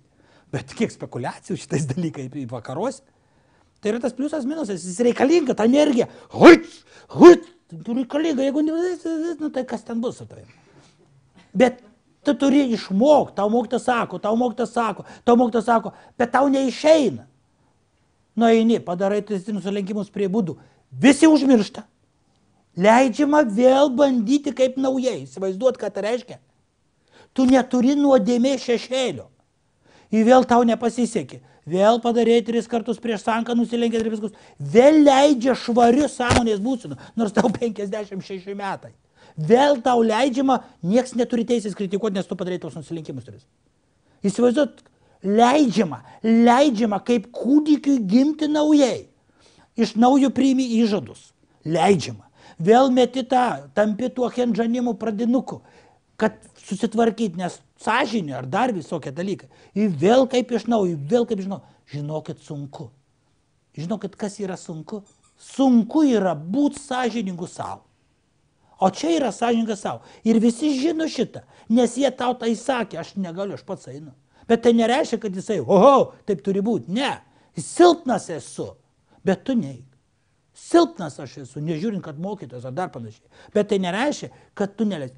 Tas suvokimas bendruomeniai suleidžia tą galimybę, įleidžia, kad tu turi bandyti, bandyti. Tik tai šitokiai sankoj, kur jinai yra būda vertybė, darma vertybė, sanka, tik tai šitoje atlaidumo sankoje, kurioje nėra aš, nėra tas, kurioje sankoje yra tas, kad aš matau tavį, kad apsirengęs taip, aš matau tavo veidą, aš matau tavo nuodėmę. Tai tas mano matymas, ta mano stebėjimas tavį, nesu aš, neusimirški tuo metu, dėl to, kad tu teisti negali. Žinau, čia pasakė. Nesuge, ne, neteistumas kitam, kito žmogaus, o jei prieimimas vėl, nors šiandien kalbėjau, tas sūnaus, ar tu pas mus kalbėjomės globaliai Lietuvoje, kokia problema yra, kodėl čia grįžkime į Lietuvą, dar panašiai. Pat žodis emigrantas žaidžia emigrantą. Čia su emigrantais kalbėjau. Lokorėjai sako, laikinai išvykęs. Ir jeigu tas sūnaus palaidūnų sugrįžimas pagal biblinę sužetą, tas sugrįžimas jo, įsivaizduokit, jisai paliko tėvą ir išėjo. Tas visą laiką su tėvu buvo. Tas, kuris paliko, ką jisai sąžinės graužties neturi. Jis dabar paims ir grįž, einu. Jisai ką, toksai blogas? Jisai tėvų bijo, taigi primuš. Grįžta naktį, nu tai jau dės, mažą nepasirodė. Ir kaip kiti pažiūrės, negrįšiu. Negrįšiu, negrįšiu. Ir galiausiai jisai, pats didžiausias jo dvasinis laimėjimas, mums tai atrodo durnius, o jam, jo asmeniškas gyvenimas, nutarė grįžti ir galiausiai praverė duris užsivertęs jisai ištiesė ranką jam ir myli jį labiau negu tą sūnų, kuris buvo visą laiką. Ar jūs tikėjote šito? Ar jis tikėjosi šito? Tai koks turi būti tėvas išmintingas ir kad jis neturėtų aš, nes ne jis teisė ir ne pas jį grįžo, o jie reprezentuoja kūrėją šitam momente. Nes grįžimas tai yra tas, kad tu dvasiškai niekada nebūsi sužlugdytas. Nežiūrint, kokį tu blogį savį pasėjęs, tu visą laiką turi galimybę. Šitokioj visuomeniai be išpažinties masiniais visiems tobulėjimas neįmanomas. Toliau glimsti melė viskas. Pirmiausia, išpažintis, išėjimas iš to ir visi pasijos, bet mes esam tokie patys. Jeigu žmogus išpažįsta, koks jisai blogas, tu klausaisi jo, tu jį žinai save. Mes visi blogi, mažiau ar daugiau, vienodai. Bet mūsų sugebėjimas dvasiai, mums reikia motivacijos, mums reikia to. O čia yra grupė. Tokia bendruomenė žmogus jaučiasi dvasingas. Būtent ta savoka, kad tu ką matai, kad tu ką girdi, kad tu lieti, ne tu esi ir ne tau lemta teisti, o tu turi suteikti savo kiek galima širdėlę tą meilę tam žmogui, kuris išpažinęs nori atsigerti. Arba sakyk, eik iš pažinties. Mane moteriškai klausia, kaip man pradėti. Taip, eikit iš pažinties. Pas ką? Labai svarbu pas ką. Pagal jūsų sugėdimų laipsnį. Pasarčiausia, nes mums svarbu atlikau, užbraukiau, užtenka. Deja taip. Aš visą laiką, tėvai pijo, pas mane ateina žmogus, kuris turi problemą, nenori gyventi šitam gyvenime ir stengiasi kelis kartus jau išeiti ir atėjo pas mane, aš nežinau, ką daryti. Jį tenai kažkas ten nu, prievarta kažkokia įvyko. Baisi istorija. Skambino, tėvė pijau, ką, ką tam žmogui pasakyti, sako, aš priimsiu. Nes aš nežinau, aš turiu psichoterapeutų telefoną, aš turiu pijaus telefoną, aš turiu vienuolį, aš susinčiu žmonės. Aš tik nepropaguoju budizmą, aš tik tai su, sudarau tą dirbą žmogui, patikėti savim ir eiti to keliu, koks skirtumas kuriuo. Mes kaip katalikai. Ir išpažinties, sakau, tau reikės išpažinties. Bet ta išpažintis yra tokia, kad meistrui išpažįsti. Aišku, galėtų medžių išpažinti. Bet jis tau pasakys mokymą. Ne kažkokią tėvę mūsų ir kurį ten patvarkės tavo girdi. Gausi mokymą. Kiek tu būsi švarus, kiek. Kaip tada tu gali vėl ir vėl ir vėl. Tik tuo metu įsivalius galimas įėjimas šitai. Kiekviena Seimo sesija turi prasidėti išpažintim su kunigu Seime, jeigu ten tos reikia. Tik tai išpažinės nuodėmės tu gali balsuoti. Nu pagalvokit, nu ar nelogiška. Nu čia aš juokauju, bet mes dabar tą aktualiją, aš dar televizijoje turėsiu laidą pas Janutę ne pirmadienį. ne, nu aš einu kur blogiausia. Taip. Ten įdomu žmonės, ten reikia ramybės. Tai va, tas, kas mūsų erzina, tas, kas keistis turi, kas ne taip, kas dar prasideda mūsų galvoje. Čia. Aš jau turbūt pasakoju tokią istoriją, kai moteris sutiko tokį Tibeto vienuolį ir sako, kaip man praktikuoti, labai įdomiai kalbėjau. Bet sako, aš dirbu Vašingtonė, biznio centre ten maždaug. Sako, nemeluok. Žinot turbūt šitą. Tai jinai, tai kai sako, aš negaliu nemeluoti, nes meluodama aš uždirbu pinigus. Nu, biznierius. Žinot, pasakė, tas permokėjo, tau pelnas. Tas pelnas tai kaip melas. Tu pardavėjau, tu negamini produktų. Tik tai iš vienų rankų į kitą ranką. Nu, aš, mes vadiname spekulaciją. Aš pirkdavau vieną dalyką e, gariūnų turgui, ir vež e, kalvarijų turgui į tą patį dalyką parduodavau gariūnų. Man kainavo tik tai biletas autobusu. Ir aš parduodavau, nu, biškai daug brangiau. Tai aš kokius 10 kartų suvažinėdavau, tai šį dieną turėdavau 50 rublių. Taip. Tais laikais daug. Tai yra biznis. Bet aš kojytėm dirbau. Bet tie žmonės, kurie pirko tą daiktą gariūnus, jie nevažiuosi kalvariją ieškoti. O aš jiems atėjęs tą daiktą, aš sužinojau visas kainas kalvarijų, tada nuvažiavau į gariūnus ir sakau, nepirkit čia kalvarijų pigiau. tai gaučiau snukį. Ar ne taip? Tai va, jinai kaip aš nemeluosiu. O tu paprasčiausiai nemeluok. Jinai pradėjo nemeluoti, tada biškai ją sumažinu pareigose. Nu kaip, nes labai sunku atsekti. Nes, nu, pagalvokit, nemeluoti visai.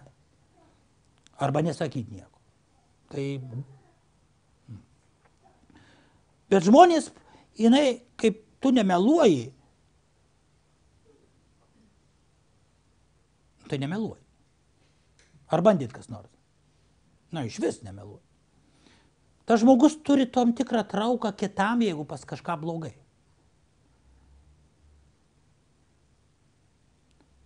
Ant mano mama mirė vėžį, krūties. Kai jau pradėjo tikrintis, buvo ketvirta stadija. Aš tu taip, čia tokia istorija. Pas, vat. ir toj darbovietėje taip pat moteris buvo, jauti, kad guziukas. Bet bijojo labai eiti pasitikrinti, nedaug turėjo. Mano mama bijojo. Jeigu būtų anksčiau nebijojus, būtų, būtų antroji stadija, būtų išgyjus. Operaciją padarė panašiai. 44 metų numirė. Jis ateina pas tą, kuri nemeluoja, nes kažkokia vat, pasikeitė veidas žmogaus, kitoks veidas tapo. Ir tie žmonės pradėjo pasakoti savo bėdas, da, nu, žinot, Amerikoje labai retas atvejis, kad kažkam iš vis įsipasakos. Tai va, ten yra psichoterapeutas, susimok ir pliurp. O čia uždyka, nu tai apsimok. Jie pasiskaičiavo. Tai va. Bet principė tai buvo trauka tikrai dvasinė, aš tai pajaukavau apie tos dalykus. Ir ta prieėjo, sako, pas mane uglikos, ta sako, eik pasitikrinti. Ta nuėjo. Įsivaizduojat, tai logiška. Aš čia sakau, pas mane antras savas, eik pasitikrinti. Arba, ne, tai tau reikėtų, žinai, pasitikrinti. Ir tu tas reikėtų. Jis jaučia, neduok tu Dievė, kad pas mane bus. Tas pas kaip pas tave, eik tu šiek, žinai, eik pasitikrinti. Jis perskatų tą emociją būtent, nes pas tave principai yra tas antras kažką tai juda, o jie tu nori jį nuginti. Kiek mes turime minčių, kurių nenorim. Gerai, kad niekas nemato. O ko jūs taip juokitės apie mane čia ką nors? Tai aš ne dabar kalbu, taip gyvenime, dabar irgi. Nieko savo, kaip iš jų. Ei, demonai, įsigandute, ne? Miego čia atėjo. Ir jinai paprasčiausiai pasakė tik tai tai, kaip pasakė, jos nebuvo. Jinai išgirdo, kaip tas, tas antras, kuris visą laiką sakytų, eik pasiau, tas trečias, baig, tas, taigi, sužinoj, kaip bus tau vaikam, kaip pranešti dar, o jei, bijai, bijai, bijai. O tas bum, tas dieviškas, bum, nuėjo antrą, išgyjo. Paprasčiausiai, tai aišku, jinai tapo vienuolita, kuri nemelavo. Nes sako, palauk, jeigu aš nemeluojant, tai pasikeičiau, tai ką dar reikia? Tai sako, dar 350 įžadai. Tai kai visus bus, tai kas bus su tavimi? At matot, toj dvasinėje praktikoje reikalingi įžadai. Anksčiau pas būdą nereikėjo įžadų. Bet vienam nesisekė praktikuoti. Tas vienas da, įžadai. Nuėjo, ilgai negryžo, atėjo, jėtau, jėtau, jėtau, ir vėl nori eiti. Sako, negalima. Tada atsirado įžadas. Celibatas.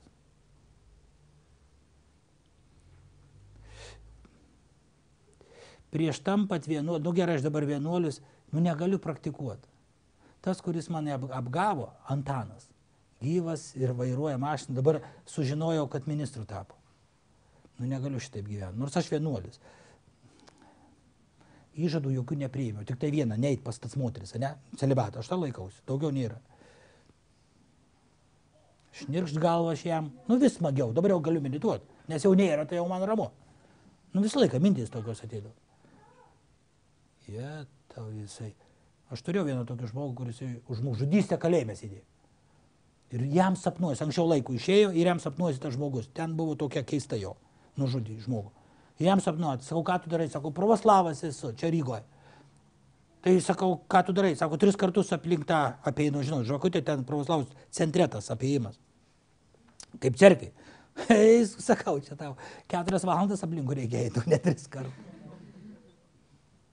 Nu va, ir pasisako, būda, sako, užmušiau žmogų. Ir negaliu dabar praktikuoti, nu tai aišku, ne. Tada nežudyk, sako. Taip įžadai atsirado ir lygi šių dienų dėl pažeidimų. Neatsirado pirmą įžadai. Jo, taip, taip, taip daryk, taip. Ne. Paskui, kai jiems nesisekė, lygi šių dienų mes turim tiek pažeidėjų, kad aš net priimu 250. Įvairių, istoriškai. Neik neatsiklausęs į karalių rūmus, aš priimu tokį įžadą. Nes matyt, vienuolė eidavo ir užtikdavo, tai karaliui buvo nepatiko, nu tai neik. Pas Bimbasarą, nu tais laikais. Indijai. Tai va. Tie įžadai yra labai svarbus žmogaus praktikai. Jie disciplinuoja. Kiek visokių yra trikų, kiek jisai yra aštuonlypis kelias, kiek jisai yra tokių praktikų, kurie varžo mus tam, kad kuo greičiau mes galėtume. Ta. Gerai. Gal užtiek. Klausimų.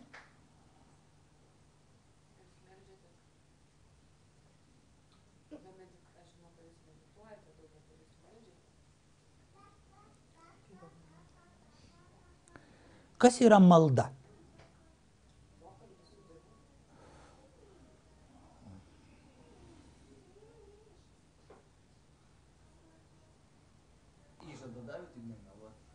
Tai. Ne, ne, žinokit, aš suprantu, ką klausit. Atsakymas jisai.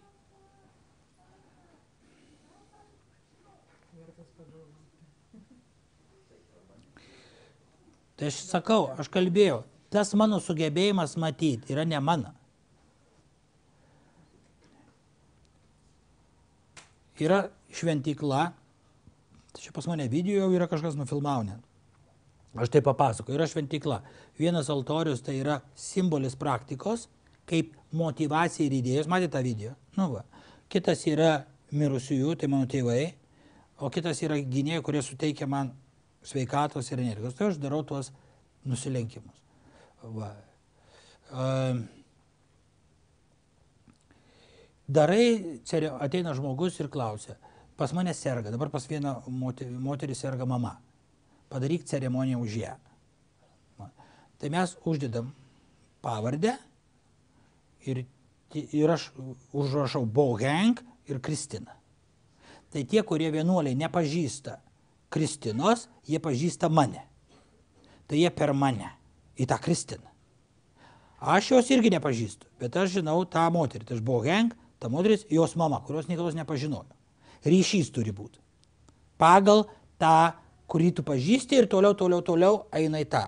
Labai svarbu kanalas energetinis. Dėl ko tu tai atliksi. Toliau mes atliekam praktiką mantros gėdojimui. Jeigu kartais pasakom tą įvardyjam, arba užtenka perskaityti. Tam tikru metu per vidurį praktikos jisai yra skaitoma. Niekada negalima, kad kiltų mintis, kad tu meldiesi. Taip galima pavadinti maldą. Ten nėra, kad tu meldi Dievui, ten nėra taip. Tu sakai, nu, čia mantra.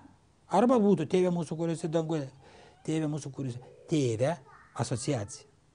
Nu, kur esi kryptis danguje. Piešinukas. Melskis.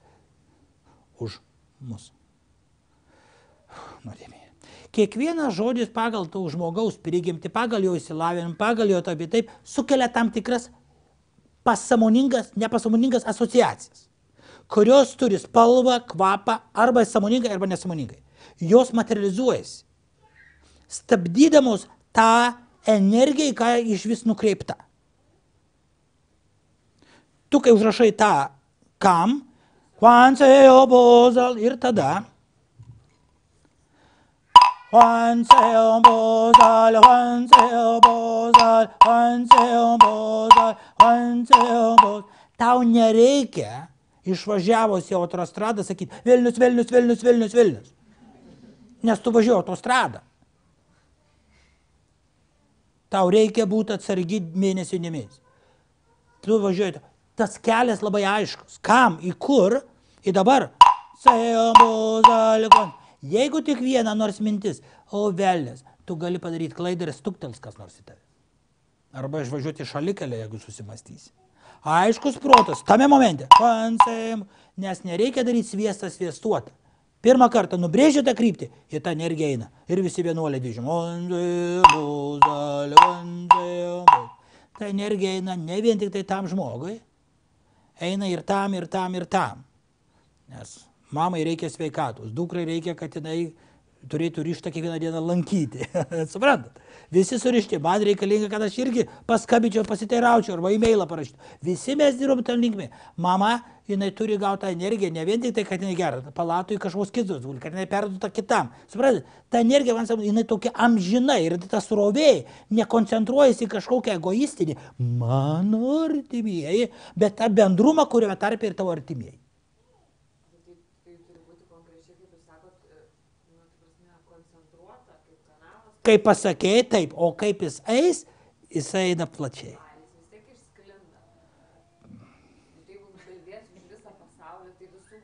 Kartais pas mus šuo. Au, tuo pačiu metu. Au, kai mes darėm už meistrą. Tai Mes net nežinom. ai, ai, Tikrai nežinai. Tavo protas šito nesuvoks. Kaip tu gali suvokti maldą? Tai yra tik tai emocija, idėja. Bet pats tavo širdies buvimas. Taigi, aš pažįstu tą žmogų. Man nereikia savo sakyti, tau turi jos gailėti. Nelabai, bet reikėtų. Nu gerai. Ten nėra šito. Argi taip? Tai jau juokia net sukelia. Ten yra natūralis, tik, tik tai nestabdyk savo protų. O rūpūžė šiandien vėl reikės už ją daryti. Ai, geriau būtų sveika buvę. A, tai nu, gerai, tai jeigu kartoji, pavyzdžiui, Tai jeigu vieną dieną sveiki, oh, padariau, tai kitą dieną jau daryti nenorėsi. Tai tai gerai, o jeigu kartoji man tas už kitus, tai užtenka. už visus kitus. Nu, pagal jūs, pavyzdžiui, kaip aš supratau, užtenka, tai tu atkartoji už visus, tai ir po to išsiplečia. Nu, jeigu intencija gera,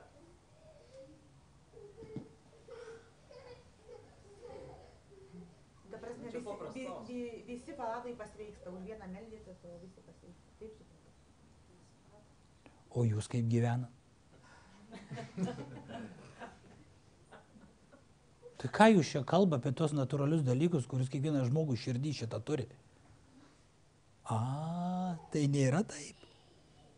Tai jūs savo pasisakykite, o ne man čia. Ką čia, tardyt pradėjot?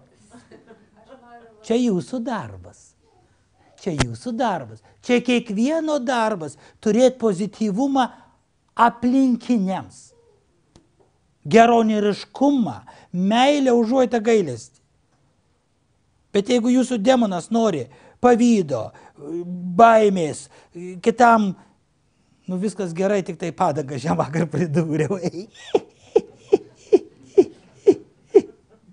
Jeigu šitas yra taip, tai jisai natūraliai visi elgesi. Bet mes kalbam ne apie tą. Velnes nematė, nepagautas nevagis, gali gyventi su tuo, kiek nori. Bet mes čia kalbam apie žmonės, kurie užsiminėja tuos, kai tu dvasinė praktika, kur perėsi į subtilų tą jau būseną, kada tau, netgi Magalena, Magalena, tas būdos mokinys, kur geriausias, vienas iš geriausių ir temiausių mokinių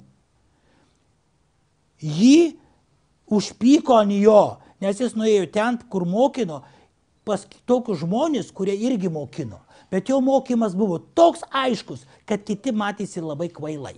Nu, mele. Ir jiems jisai nepatiko, nes jo akivaizdu jie biški jaučiasi nemokytojai. Tada jie pasamdė žudiką, kad nužudyt šitą. Natūralus dalykas tarp žmonių, ne?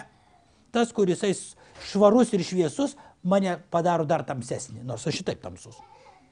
Ne taip, kad tu jam nusilenktum ir sakytum, mokyk mane. Nu ne, ha, labai čia man. Man valdžia svarbiausia. Aš noriu būti mokytas, kad mane klausytų ir kad aš čia būčiau. Va, a ne? Mokytas aš, a ne? Nu va, tai va, aš sakiau. Nu žiūrėkit man. Tai va. O čia atėjo kitas pasakė ir, ir aš visai kvailai atrodo, visi žmonės nusisuko eina pas jį. Man nepatinka. Jūs tai kvailiukai, bet aš prarandu masę. Reikia nukalti. Tai jisai turėjo magišką jėgą. Ir kai atėjo tie plėšikai, tie visi, kurie norėjo, jis pakilo į orą. Nu, jie negali jo paimti. Vėl nusileido. Jie vėl atėjo, septynias dienas taip vyko. Paskutinę dieną jis negalėjo pakilti į orą. Dėl to, kad jis kažkokiam gyvenime savo senus tėvus nešė į mišką užmušti su pagaliu. Nu, tokia tradicija Indijoje yra. Ir ten jisai kažką pamatė ir juos atitempė namo nenužudęs. Nu, kažkas įvyko jam ten. Bet pati mintis sudarė jau karmą tokią, kad jis negalėjo pakilti ir jie nužudė jį. Atgal grįžo.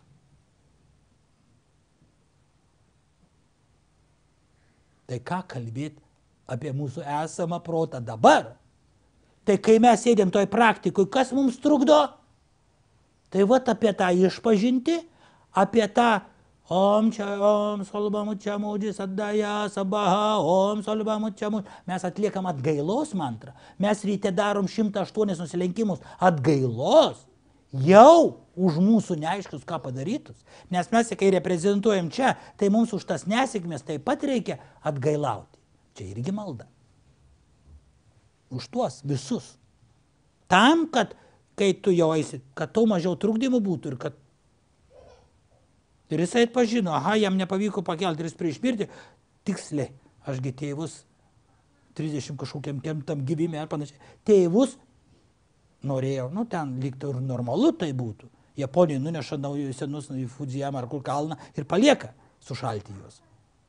Nu, tradicija tokia. Mūsų požiūriu blogai. Jų požiūriu gali būti. Nu, žinot, ten yra Narajamų kalnas, ar kaip filmas toksai ne yra, kai neša savo mamą. Prisimint, kelionį Narajaną, taip? Bet jisai, va jam tas sutrukdė, būtent paskutiniam ir jisai neišėjo į nirvaną. Ir, va. Tai va, čia labai svarbu, kokia mintis. Sakau, čia labai asmeniškai kiekvieno žmogaus, bet neapgaukit save. Bet yra įvairių technikų, atgailai, dar panašiai, yra įvairių. Bet tik tai neapgauti. Jeigu tu čia joga, taip, taip, tai vieno žodžio, Norint kvepėti, nusiprausk, nepurška dikolono nešvaraus kūno. O aš sukeliu kam nors juoką, neturėčiau, neturėčiau.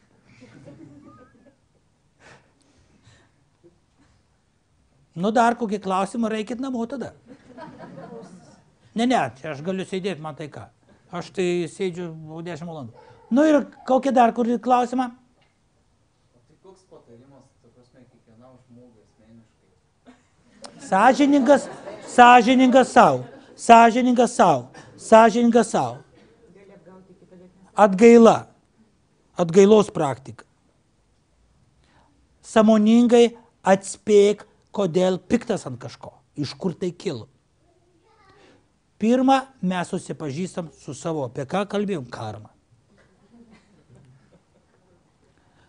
Karma, dharma. O kas yra dharma?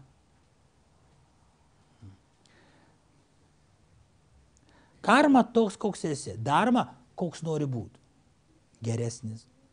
Knygoje kur nors šventrašio rašosi, pamatėjai kokį, nu, supranti, nori tuo būti.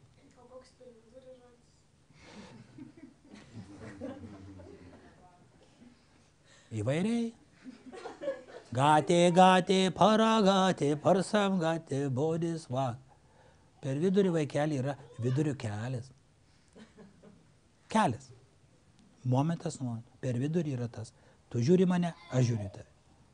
Tame momente ir karma, ir kelias, ir darba, ir momentas nuo momento, momentas nuo momento tarp. Ką tai reiškia?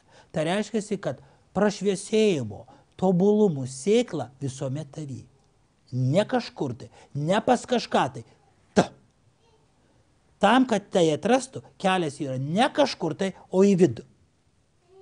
Ir jame taip pat pas tavai yra ta prašviesėjimas, kuris, vadinkim, tas tyrumas, daroma taip pat tavy. Svazai, kokia pagoda.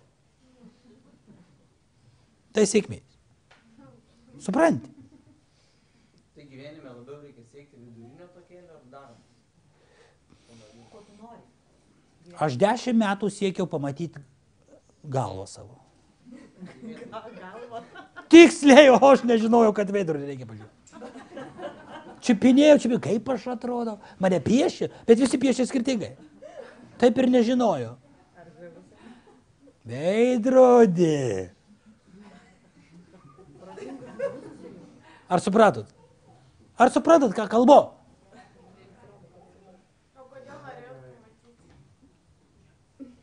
Nu vis vien įdomu. Kiti juokiasi iš tave. Kai jis sako, nosis tavo didelė, sako, akys mano rudos, aš galvoju, kad jos pilkos. Viskai vieną pusę pakrypė, kitą nepakrypė. Yra toksai žiūrėjimas į veidrodį 45 minutės.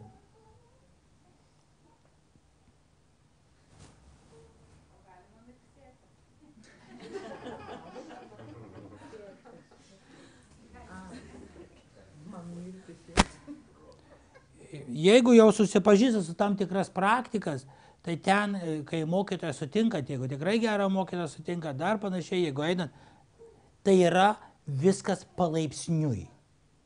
Tu negali dabar žmogui sakyti, močiutė gatvėje, žinot, kas yra meditacija? Ne, vaikeli, nežinau. Taigi nemirksėti reikia. Jeto, jeto, o ti durnius. O durnius. Kaiminka, kas yra? Tai tu žinai, tas pranas iš trečio aukšto, kur grįžus sako, nemirksai, tai yra meditacija. Jie tau, jie tau, aš manau, kad čia turėtų policija turbūt ateiti. Turėtų išvežti, aš manau. Nerimtai, nu kaip. Tai jisai turbūt visiems šitaip sako. Kiekvieną palaipsniui, palaipsniui. Kiekvienai žmogui, kiekvienui žmogui yra skirtingi, skirtinga uždėta energija, kad jisai galėtų save išlaisvinti, kad mokytas jame galėtų pamatyti būtent tą, ko jam šiuo metu reikia. Atpažinimas jūsų karmos, atpažinimas su savim, tai yra turėti, kai mes sakom, aštraus žvilgsnio mokytoją, kinajas, aštrų akių. Tai labai svarbu sutikti mokytoją, gimti žmogum irgi didelis dalykas. Jeigu mes žinom, kodėl čia atėjom, jau susitarėm dėl ko. Dėl to, kad turim misiją. Taip? Ne kažką apgauti, ne kažką tokio, ne kažkokią karjerą padaryti, bet kažką tokio. Toliau, tam, kad padaryti, reikia sutikti mokytoją. Nes jeigu mes iš savęs ir ten iš turis turistausim panašiai taip ir taip, laiko švaistimas. Visi keliai veda į tą patį. Tik tai, kai surandi mokytoją, nekeisk jo, nežiūrint, kas ir bus. Aišku, jūs keisit. Bet žinok, kad keitimas buvo blogai. Keitėjai dėl to, kad jis parodė, koks jūs esat. Eiktų, man tai nepatinka. Man patinka, kai giria mane. Man nepatinka, kai pasis, pasistato mane ir prieš visus apšaukia. Kaip man nepatinka. Aš jam už tokį dalyką. O man kaip tik reikėjo šito. Nes tas nepatikimas, tas noras patikti ir didžiausias man buvo kliudinys, nes aš buvau išpuikęs. O jisai man tą išpuikumą varė lauk, viešai mane pajokdamas. Ir aš atėjau pas kitą mokytoją, pas jau jo vyresnį brolį. Ir sakau, aš negaliu pas jį būti. Jis mane išjuokė prieš visus. Nieko savo, nu ir meilė pas jį. Tau. Čia tai bent myli. Ir kai mūsų meistras vienas mirė, atėjo atsenukas mūsų, ten meistras toksai, ir jisai sako, va dabar žinau, jo meistras Sunksanas, jisai buvo jo studentas, dabar jisai numirė irgi meistrų tapo. Ir va Sunksanas, jo mokinys dabar, pats geriausias, nes jis taip šaukdavo ant jo, mes visi net nepatogu būdavo klausyti, kaip tas meistras bara savo mokinį. Matyt, taip mylėjo. Čia ne tas yra, kad vyras muša moterį dėl to, kad myli. Čia yra tai, kad dėmesį ir energiją duoda tau.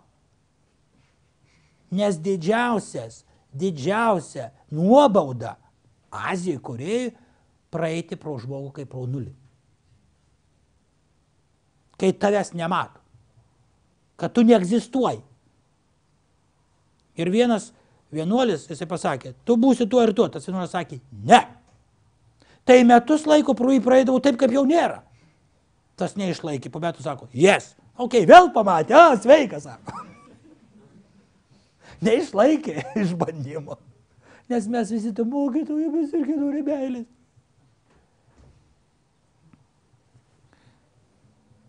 Padėka, padėka, padėka, kad mes galim klausyti, kad mes galim kažką daryti, kad mes galim suvokti save, kad mes padėka. Ačiū, ačiū. Tuomet, kada tu sakai tą ačiū, ką darysi su tuo? Kam valgai kiekvieną dieną? Visa šita energija dėl to, kad jeigu ne jūs dabar, tai kas?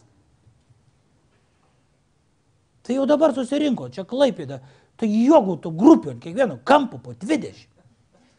Tai ką veikia? Būtent, kad yra tas klausimas. Būtent jisai yra. Tai tegu jisai ir būna už tą pagrindą. Koks skirtumas? Išeina tą asaną, neišeina. Žmonės gulėdami pasiekia prašviesėjimą, bei- nes stuburai sulaužyti būna. Va kur svarbiausia.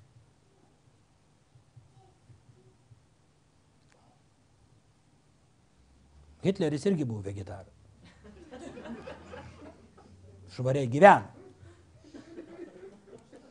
Taip.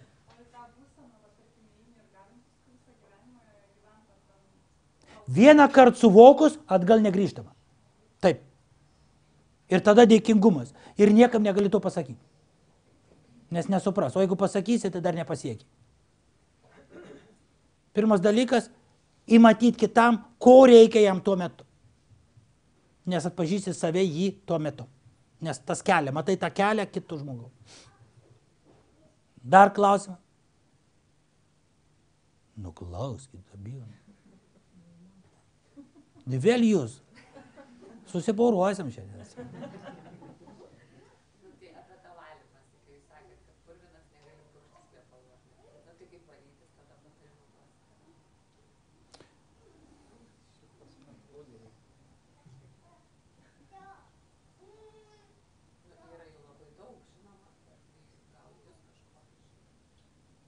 Jeigu atvirai kalbant šiandien žmonėm, kur jūs esate čia, tai aš turbūt purviniausias.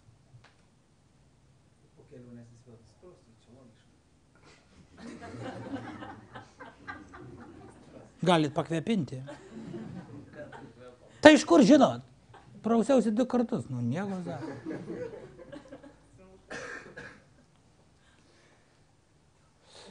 Kas yra svarbiausia? Šitas klausimas rodo, kad jūsų tikrinantis protas apie save kritika yra stipresnė negu pajėgumas kažką daryti. Arba jums smagu apie save kalbėti, kad kažkas to pasiekoje kalbėtų apie jūs gerai. Nu, nu, nu, nu.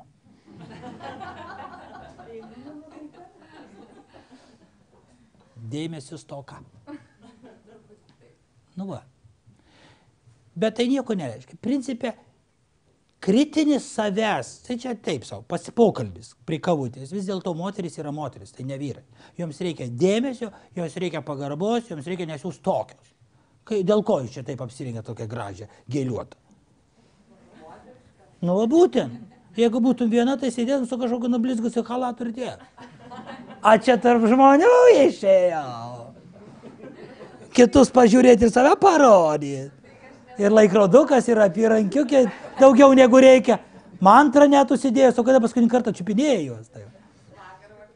Nu, šiandien visą dieną turėjai. Gražu nes. Bet principė nereikia čia tiek daug jums. Tikrai geri žmonės esate. Čia tikrai yra, nu tikrai nėra, nėra to tiek blogo. Paprasčiausiai samoningai suvokti kitame, netikrinantį tą kitame žmoguje, tą užuojautą, tą gailestį. Ir save, aišku, kai gerai viskas einasi, tai nėra motivacijos kažką daryti. Kai mums meistras sakydavo Norvegijoje, tai jau niekas nepraktikuos. Gerai sako, gyvena jie ten. Taip, kenčiančiai žmonės labiau priartėja prie šito. Bet jeigu gerai pažiūrėjus, jeigu gerai taip, nu, ateis, nu, kada nors, kas nors tokio, bum. Ir tada, aha, žinau, ką daryti. Ne šiandien gal. Va. O dabar vienas dalykas - atmesti tą tikrinti vieną protą. Ai, dar tau nereikia. Taip ir taip gerai. Paviršutiniškai. Tokiais atvejais viena tokia aktorė, mes kalbėjomės, jinai klausėsi, domėjosi jogą, domėjosi budizmo, domėjosi taip ir jinai nutarė išvažiuoti, ten yra pasauliečiams speciali programa į Taivanį ir moterų vienuolyną. Gera aktorė, labai žinoma, mano gera pažįstama, aišku, jaunutė, bet Tai va. Ir aš matau Facebook'e, kai jinai važiuoja, sakau, sėkmės. Lietaus sezonas, kada ne karšta, o drėgna taip, kad ten, nu, drėgmė didžiulė, 85-90 laipsnių, plus karšta. Baisiau negali būti, žinokit, tuose rajonuose. O ten jos, jokių ventiliatorių, nieko, atėmė visus telefonus, viską ir mėnesį. Nu ir jinai išlindo po tų mėnesių, ai, na, čartu, nieko nenori apie tai kalbėti. Nieko nenori taip kalbėti. Buvo šlapę, prilipę viskas ir visą laiką. Tai buvo kančia. Tai buvo savo įmetimas. Antrą kartą važiuosi, tai jau net neklausiau, nes tikrai ne. Tas dalykas, ta praktika tokia stipri, reikės gal 3-4 metų. Tada jinai nuvažiuos į kitą galbūt. Nu, ne į Taivanį, galbūt į Mianmarą. Mianmaras dabar. Ten Vipasanos vienos geriausių mokyklų. Ten jau, jeigu Vipasana domiesi, jau ten reikia važiuoti. Ir po truputį, kada tu įmeti save savaitėj į kažką tai, bum, ten niekur nesidėsi. Tada įmeti dvi savaitės į kažkur tai, bum, nu taip, paturistauti, ant durniaus. Bet padarykit tai. Viens nesugebėsi, nei jums čia reikia, nei ką. Bet kada tu nuvažiuoji, įmeti save į kažką tai ir ten užrakinai neleidžia išeiti, arba sumoki didelius pinigus maždaug, kad gaila išeiti, dėl to ir ima didelis. čia japonų daugiau. Ir ten skauda, ir bloga, bet atsiranda kažkas tokio, vis dėlto atsiranda, nes ten kryptis tai teisingas, suvokti save. Čia ne juokas yra. Ir vat po truputį, po truputį tada atsiranda tos 10 minučių kasdien. Iš to savaitės 10 minučių kasdien. 10 minučių. Be šito sunku. Tai vat, kol jauni, kol dar jėgos reikia, gyvenimas geras. Kada jau ateis laikas praktikuoti, pasensit.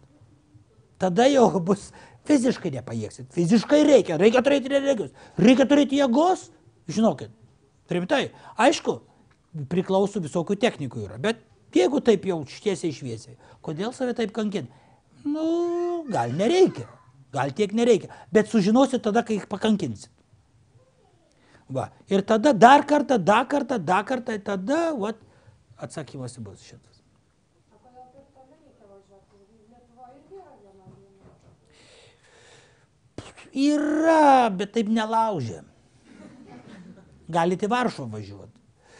Yra, nu yra, nu kas, Jokūbų kelias yra.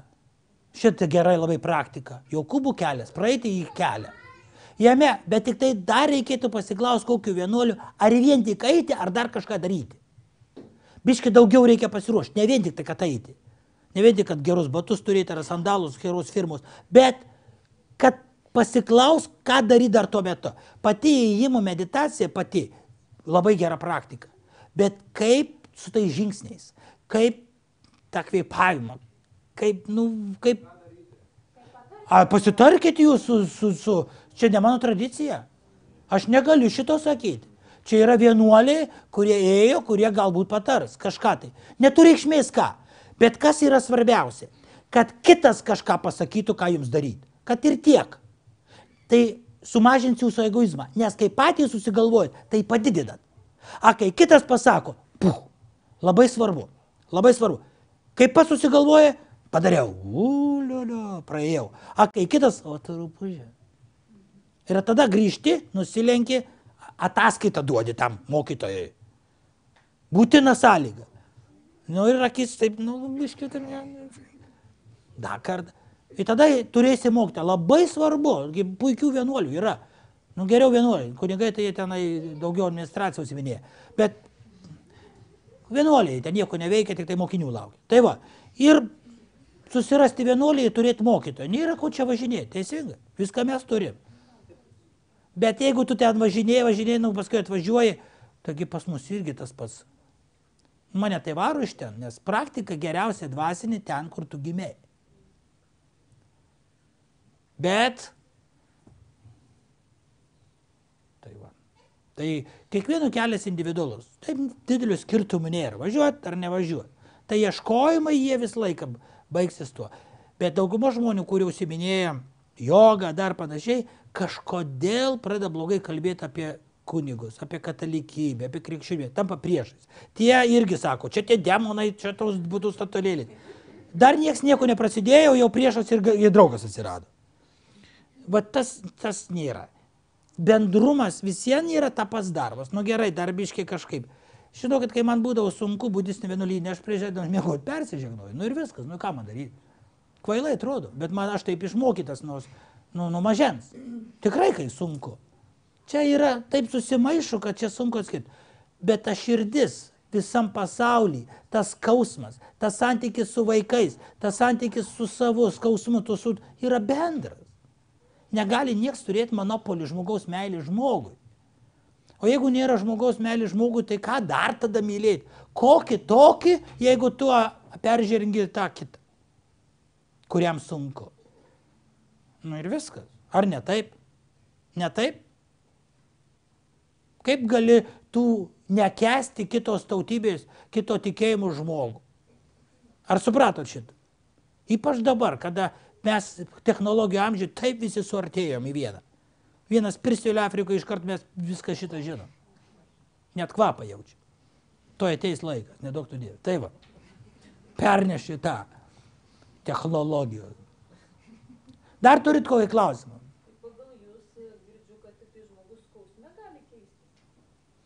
Nu, mano atžvilgiu, nu kaip skausmas. Nu, būda tai jie ten, kai aprašo, kas su juo darysi, tai o lele. Nu, labai daug skausmų buvo. Jeigu aš gyvenu gerai ir man niekas neskauda, tai kaip išeina, kad aš ir numirsiu nepasikeisiu. Pagal jūs. A kas žino jūsų adresą? Padarykit ką nors taip, kad nesijaustųsi gerai. Laikina tai. Kai iš... Nelinkiu šito. Esmė ne, čiagi tieki dalykai. Ar neužtenka skausmų matyti kituose? Ar ne kasaica? Nu, ne. Suprantate? Ar tai, nu, aš pasakiau rusiškai, kaip sako, žinai, tie, kaip nuo žasies vanduo man jūsų skausmas. Kuo aš daugiau pinigų turiu, tuo didesnė galimybė atsiriboti nuo kitų. Vis vien aš Ispanijoje katakombą pasikasiu. O atijom ir bos, aš išliksiu. Aišku, čia negaliu aš kalbėti apie mirtį kaip ne paskutinį tašką, dar panašiai. Ne mano čia darbas apie tai. Bet kitų žmonių kančia, kitų artimų, toli ieškoti nereikia, jeigu gerai pasižiūrėtumėt, jums tai gal gerai, o kažkam gal ne. Yra ir pagyvenusių žmonių dar. A nėra už ką melstis? Jau visai? Tai ta malda ir yra ta dvasinė praktika. Tik tai sakiau kaip.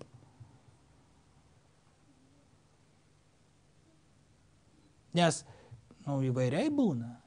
Įvairiai ir ten tokių net ekstremalių situacijų ir tokia jo studentė, ilgai pažengusi, atėjo pas meistrą, sako, nu žinai, buvau vakar pas gydytoją diagnozį, vėžio. Tai sako, sveikinu. Tai įsivaizduot, nu akibrokštas. Kaip tai čia sveikini? Tai va dabar sako, kai mažai liko laiko, tai gal praktikuoti pradėsi. Aišku, negyva ir viskas, bet suprantat, kada jau tas ateina, tada žmogus, nu, taip, va toks sureidytas, kol jam gerai jisai nesuvokia. Tai žinot tokį pasakymą čia mano dažnai, kai manęs paklausė, toks, atrodo, gal architektas Kaušpėda čia Vilniuje, sako, kas yra laimė. Tai sakau, kai žmogus klausė šitą, tai su paimu tą kuolą ir duodu per galvą.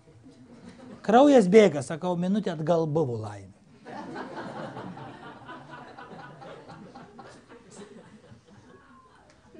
Tas suvokimas, kad dabar gerai, tik tai žinosim, kai man dantis suskaudu. Nu vakar tai buvo gerai, dabar. Bet pagalvokit šitą. Pagalvokit šitą, kad mes neįvertinam šito. Ir tampa taip paprasta, kad bet gyvenimui bėgant, taip ir taip. Nu ar tikras neišmanimas laukti, kol bus blogai, kad suvoktum, kad dabar buvo gerai. Nu nesąmonė, tai ir neverta išnaudoti tą, ką gerai. O kai gantis skaudės, tai negalėsi medituoti. Aš manau, kad čia reikia daugiau išminties tam, kad nusivokti šitą. Bet jūs suvokat, tik tai šiaip savo man čia kalbat. Aš labai įtikiu žmonėm, kai jie manęs klausia, bet pasirodo, kad jie neklausia. Šiaip savo nori pakalbėti. O viską jau žino. Viena moteris man tiek pribūrė, kad aš ten visą naktį nemiegojau. Sekančią dieną žiūriu, vai laiminga valgu ledus, o aš visai negalėjau nieko valgyti. Įsikalbėjo daugiau negu reikia, o aš patikėjau. Aš neperprantu labai. Nes aš čia atvažiuoju. Kai pas mane vienulį atvažiuoju, tai tokių nėra. O kai čia atvažiuoju, tai ko atvažiavai? Nu, tai mes tau papasakosim. To. Tai dabar jau atsirenku. Iš pirmų kartų patikėjau. Ir tas man blogai, tas paliko, tas paliko. Aš šitokiu akim, komandės nesakys, to jinai daugiau fantazuoja. Teatras, vat pagavo. Dar turit kokį klausimą? Nu dabar jau taip. Atrodo, kad ne, ne?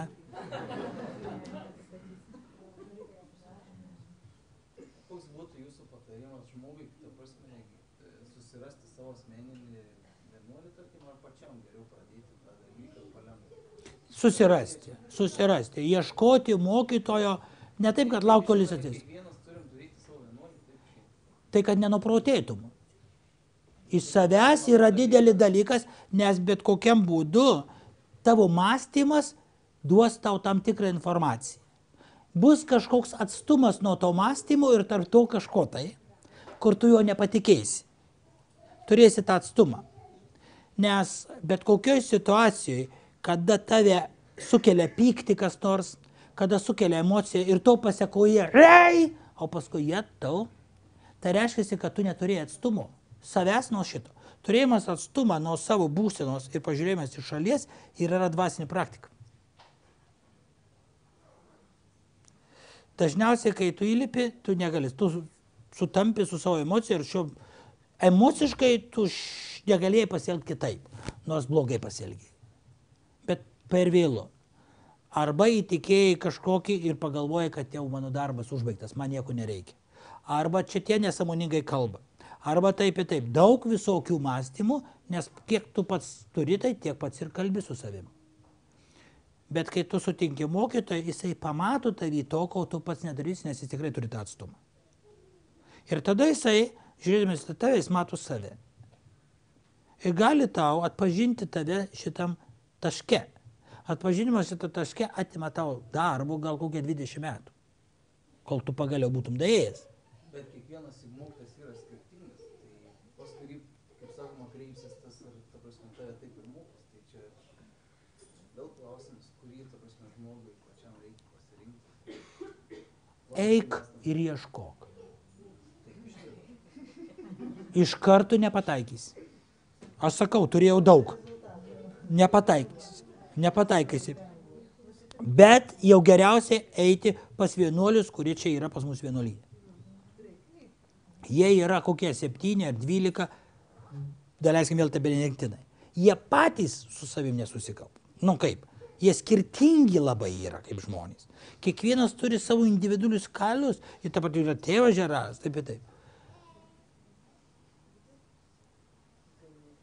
Labai svarbu, koks tavo klausimas jam bus. Jeigu sakysi, aš noriu, taip, o ką? Deja, tu nežinai, ką tu jam sakysi. Ten su juo tiesiai šviesiai tampi tokiu, kokiu tu dažniau nenori būti. Nes gerai ir nežinai, ko atėjai. Nes jisai visas dėmesys taviai. Ir kambariukas atskiras. Nu, Kambariuką galima ir pačiam pasidaryti, vieną patį ir sudaryti, irgi niekas netrukdo. vienas nusižudė jau šitaip. Vienas nusižudė. Jo, jį patikėjau, kas čia yra. Ir rimtai. Kambariukai yra kambariukai. Greitai iki išlauk iš jų. Čia jau aukšto lygio praktika. Neleidžiama. Po 21 metų tik tai leidžiama pas mus. Vienam tai čia visi, aš irgi norėčiau, pabėgti nuo tų idiotų būti vienam kambariu. Dar turi, nu. Mm, aš manau, kad tau pačiam reikia tapti vienuoliu. Tai aš manau, kad link to artėjai. Tai va, kada pamatysi tas akis, taip ir taip, tu kažką pasakysi. Tuo metu tu turi būti šimtų procentų ten, kas pas tai viduje. Nevisgink uodegos, negudrauk, nesukčiauk, būk beskuros, būk viskas, būk visą tai ir sakyk. Šūdas tas mano gyvenimas. Nu, daleiskit. Kažkas, va toks faktas. Nu, keitimasis turi būti, tik tai nežinau, kas man gali padėti. Jaučiu, kad reikėtų, nepatinka toks, koks yra dabar. Kiek tu būsi atviras, toks mokymą gausi. Viskas nuo tavęs. Ateisi su pirpilu, pirpilą gausi. Ateisi su tikrumu, tikrumą gausi. Tu padarysi mokytoją prieš savęs pradžią, o ne jis taps mokytoju. O jo patirtis, o turbūt, o nieko savo. Tai žinok, vaikeli, aš tau nieko patarti negaliu. Tėvo Žeraro reikia. O sažiningai bus atsakyta. Tada iš karto pateksi pas kitą. Dažnai šitai būna. Tada suvokia žmogaus, to, oi, oi, oi, čia ne pas mane. Jeigu išpažintis, tai taip ir taip, bet šitie dalykai tėvas Žerar.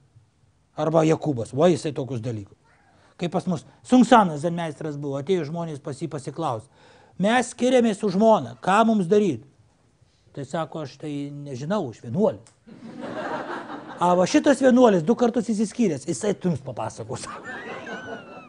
nu, prieš vienuolystę. Supranti, pagal situaciją, bet tu gausi patarimą. Aišku, ten nebuvo apie tai. Jie norėjo taip savo pasirodyti, gal prieš metų, nei ten gal skyrėsi, nei ką. Tai buvo pretekstas, kad pasitikti meistrą. Maža kas ten yra.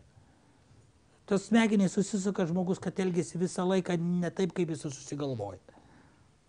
Gerai, dar kokį vieną klausimą. Man atrodo, kad jau ten juostelė baigėsi. Jo?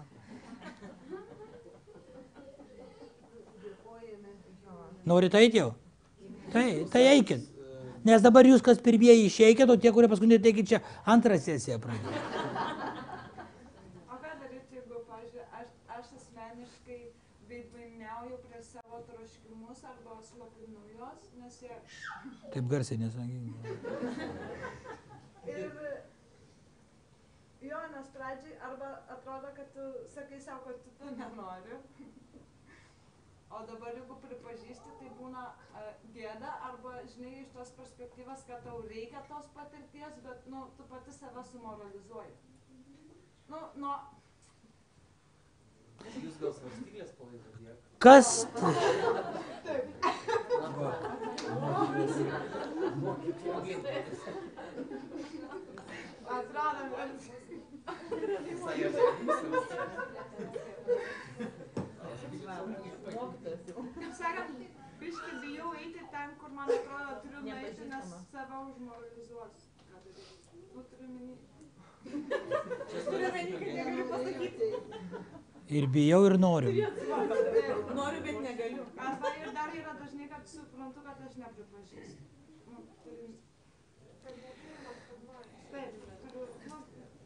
savo. Vienas veiksmas yra tūkstantį kartų geriau negu plepėjimas ir mąstymas apie jį.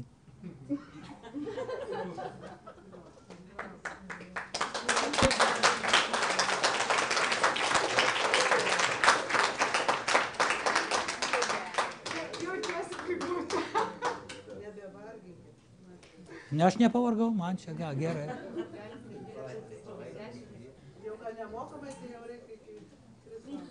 Nemokamai, tai ką jis neėmė? Ja, tau, sustabdom, sustabdom.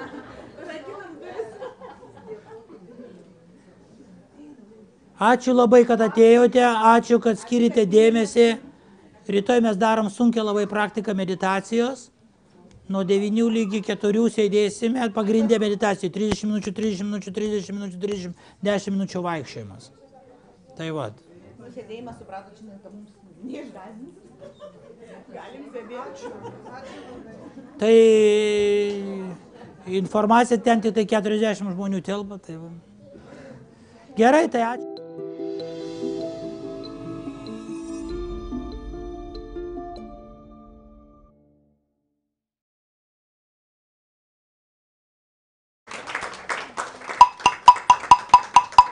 Ačiū, ačiū. Uždėks.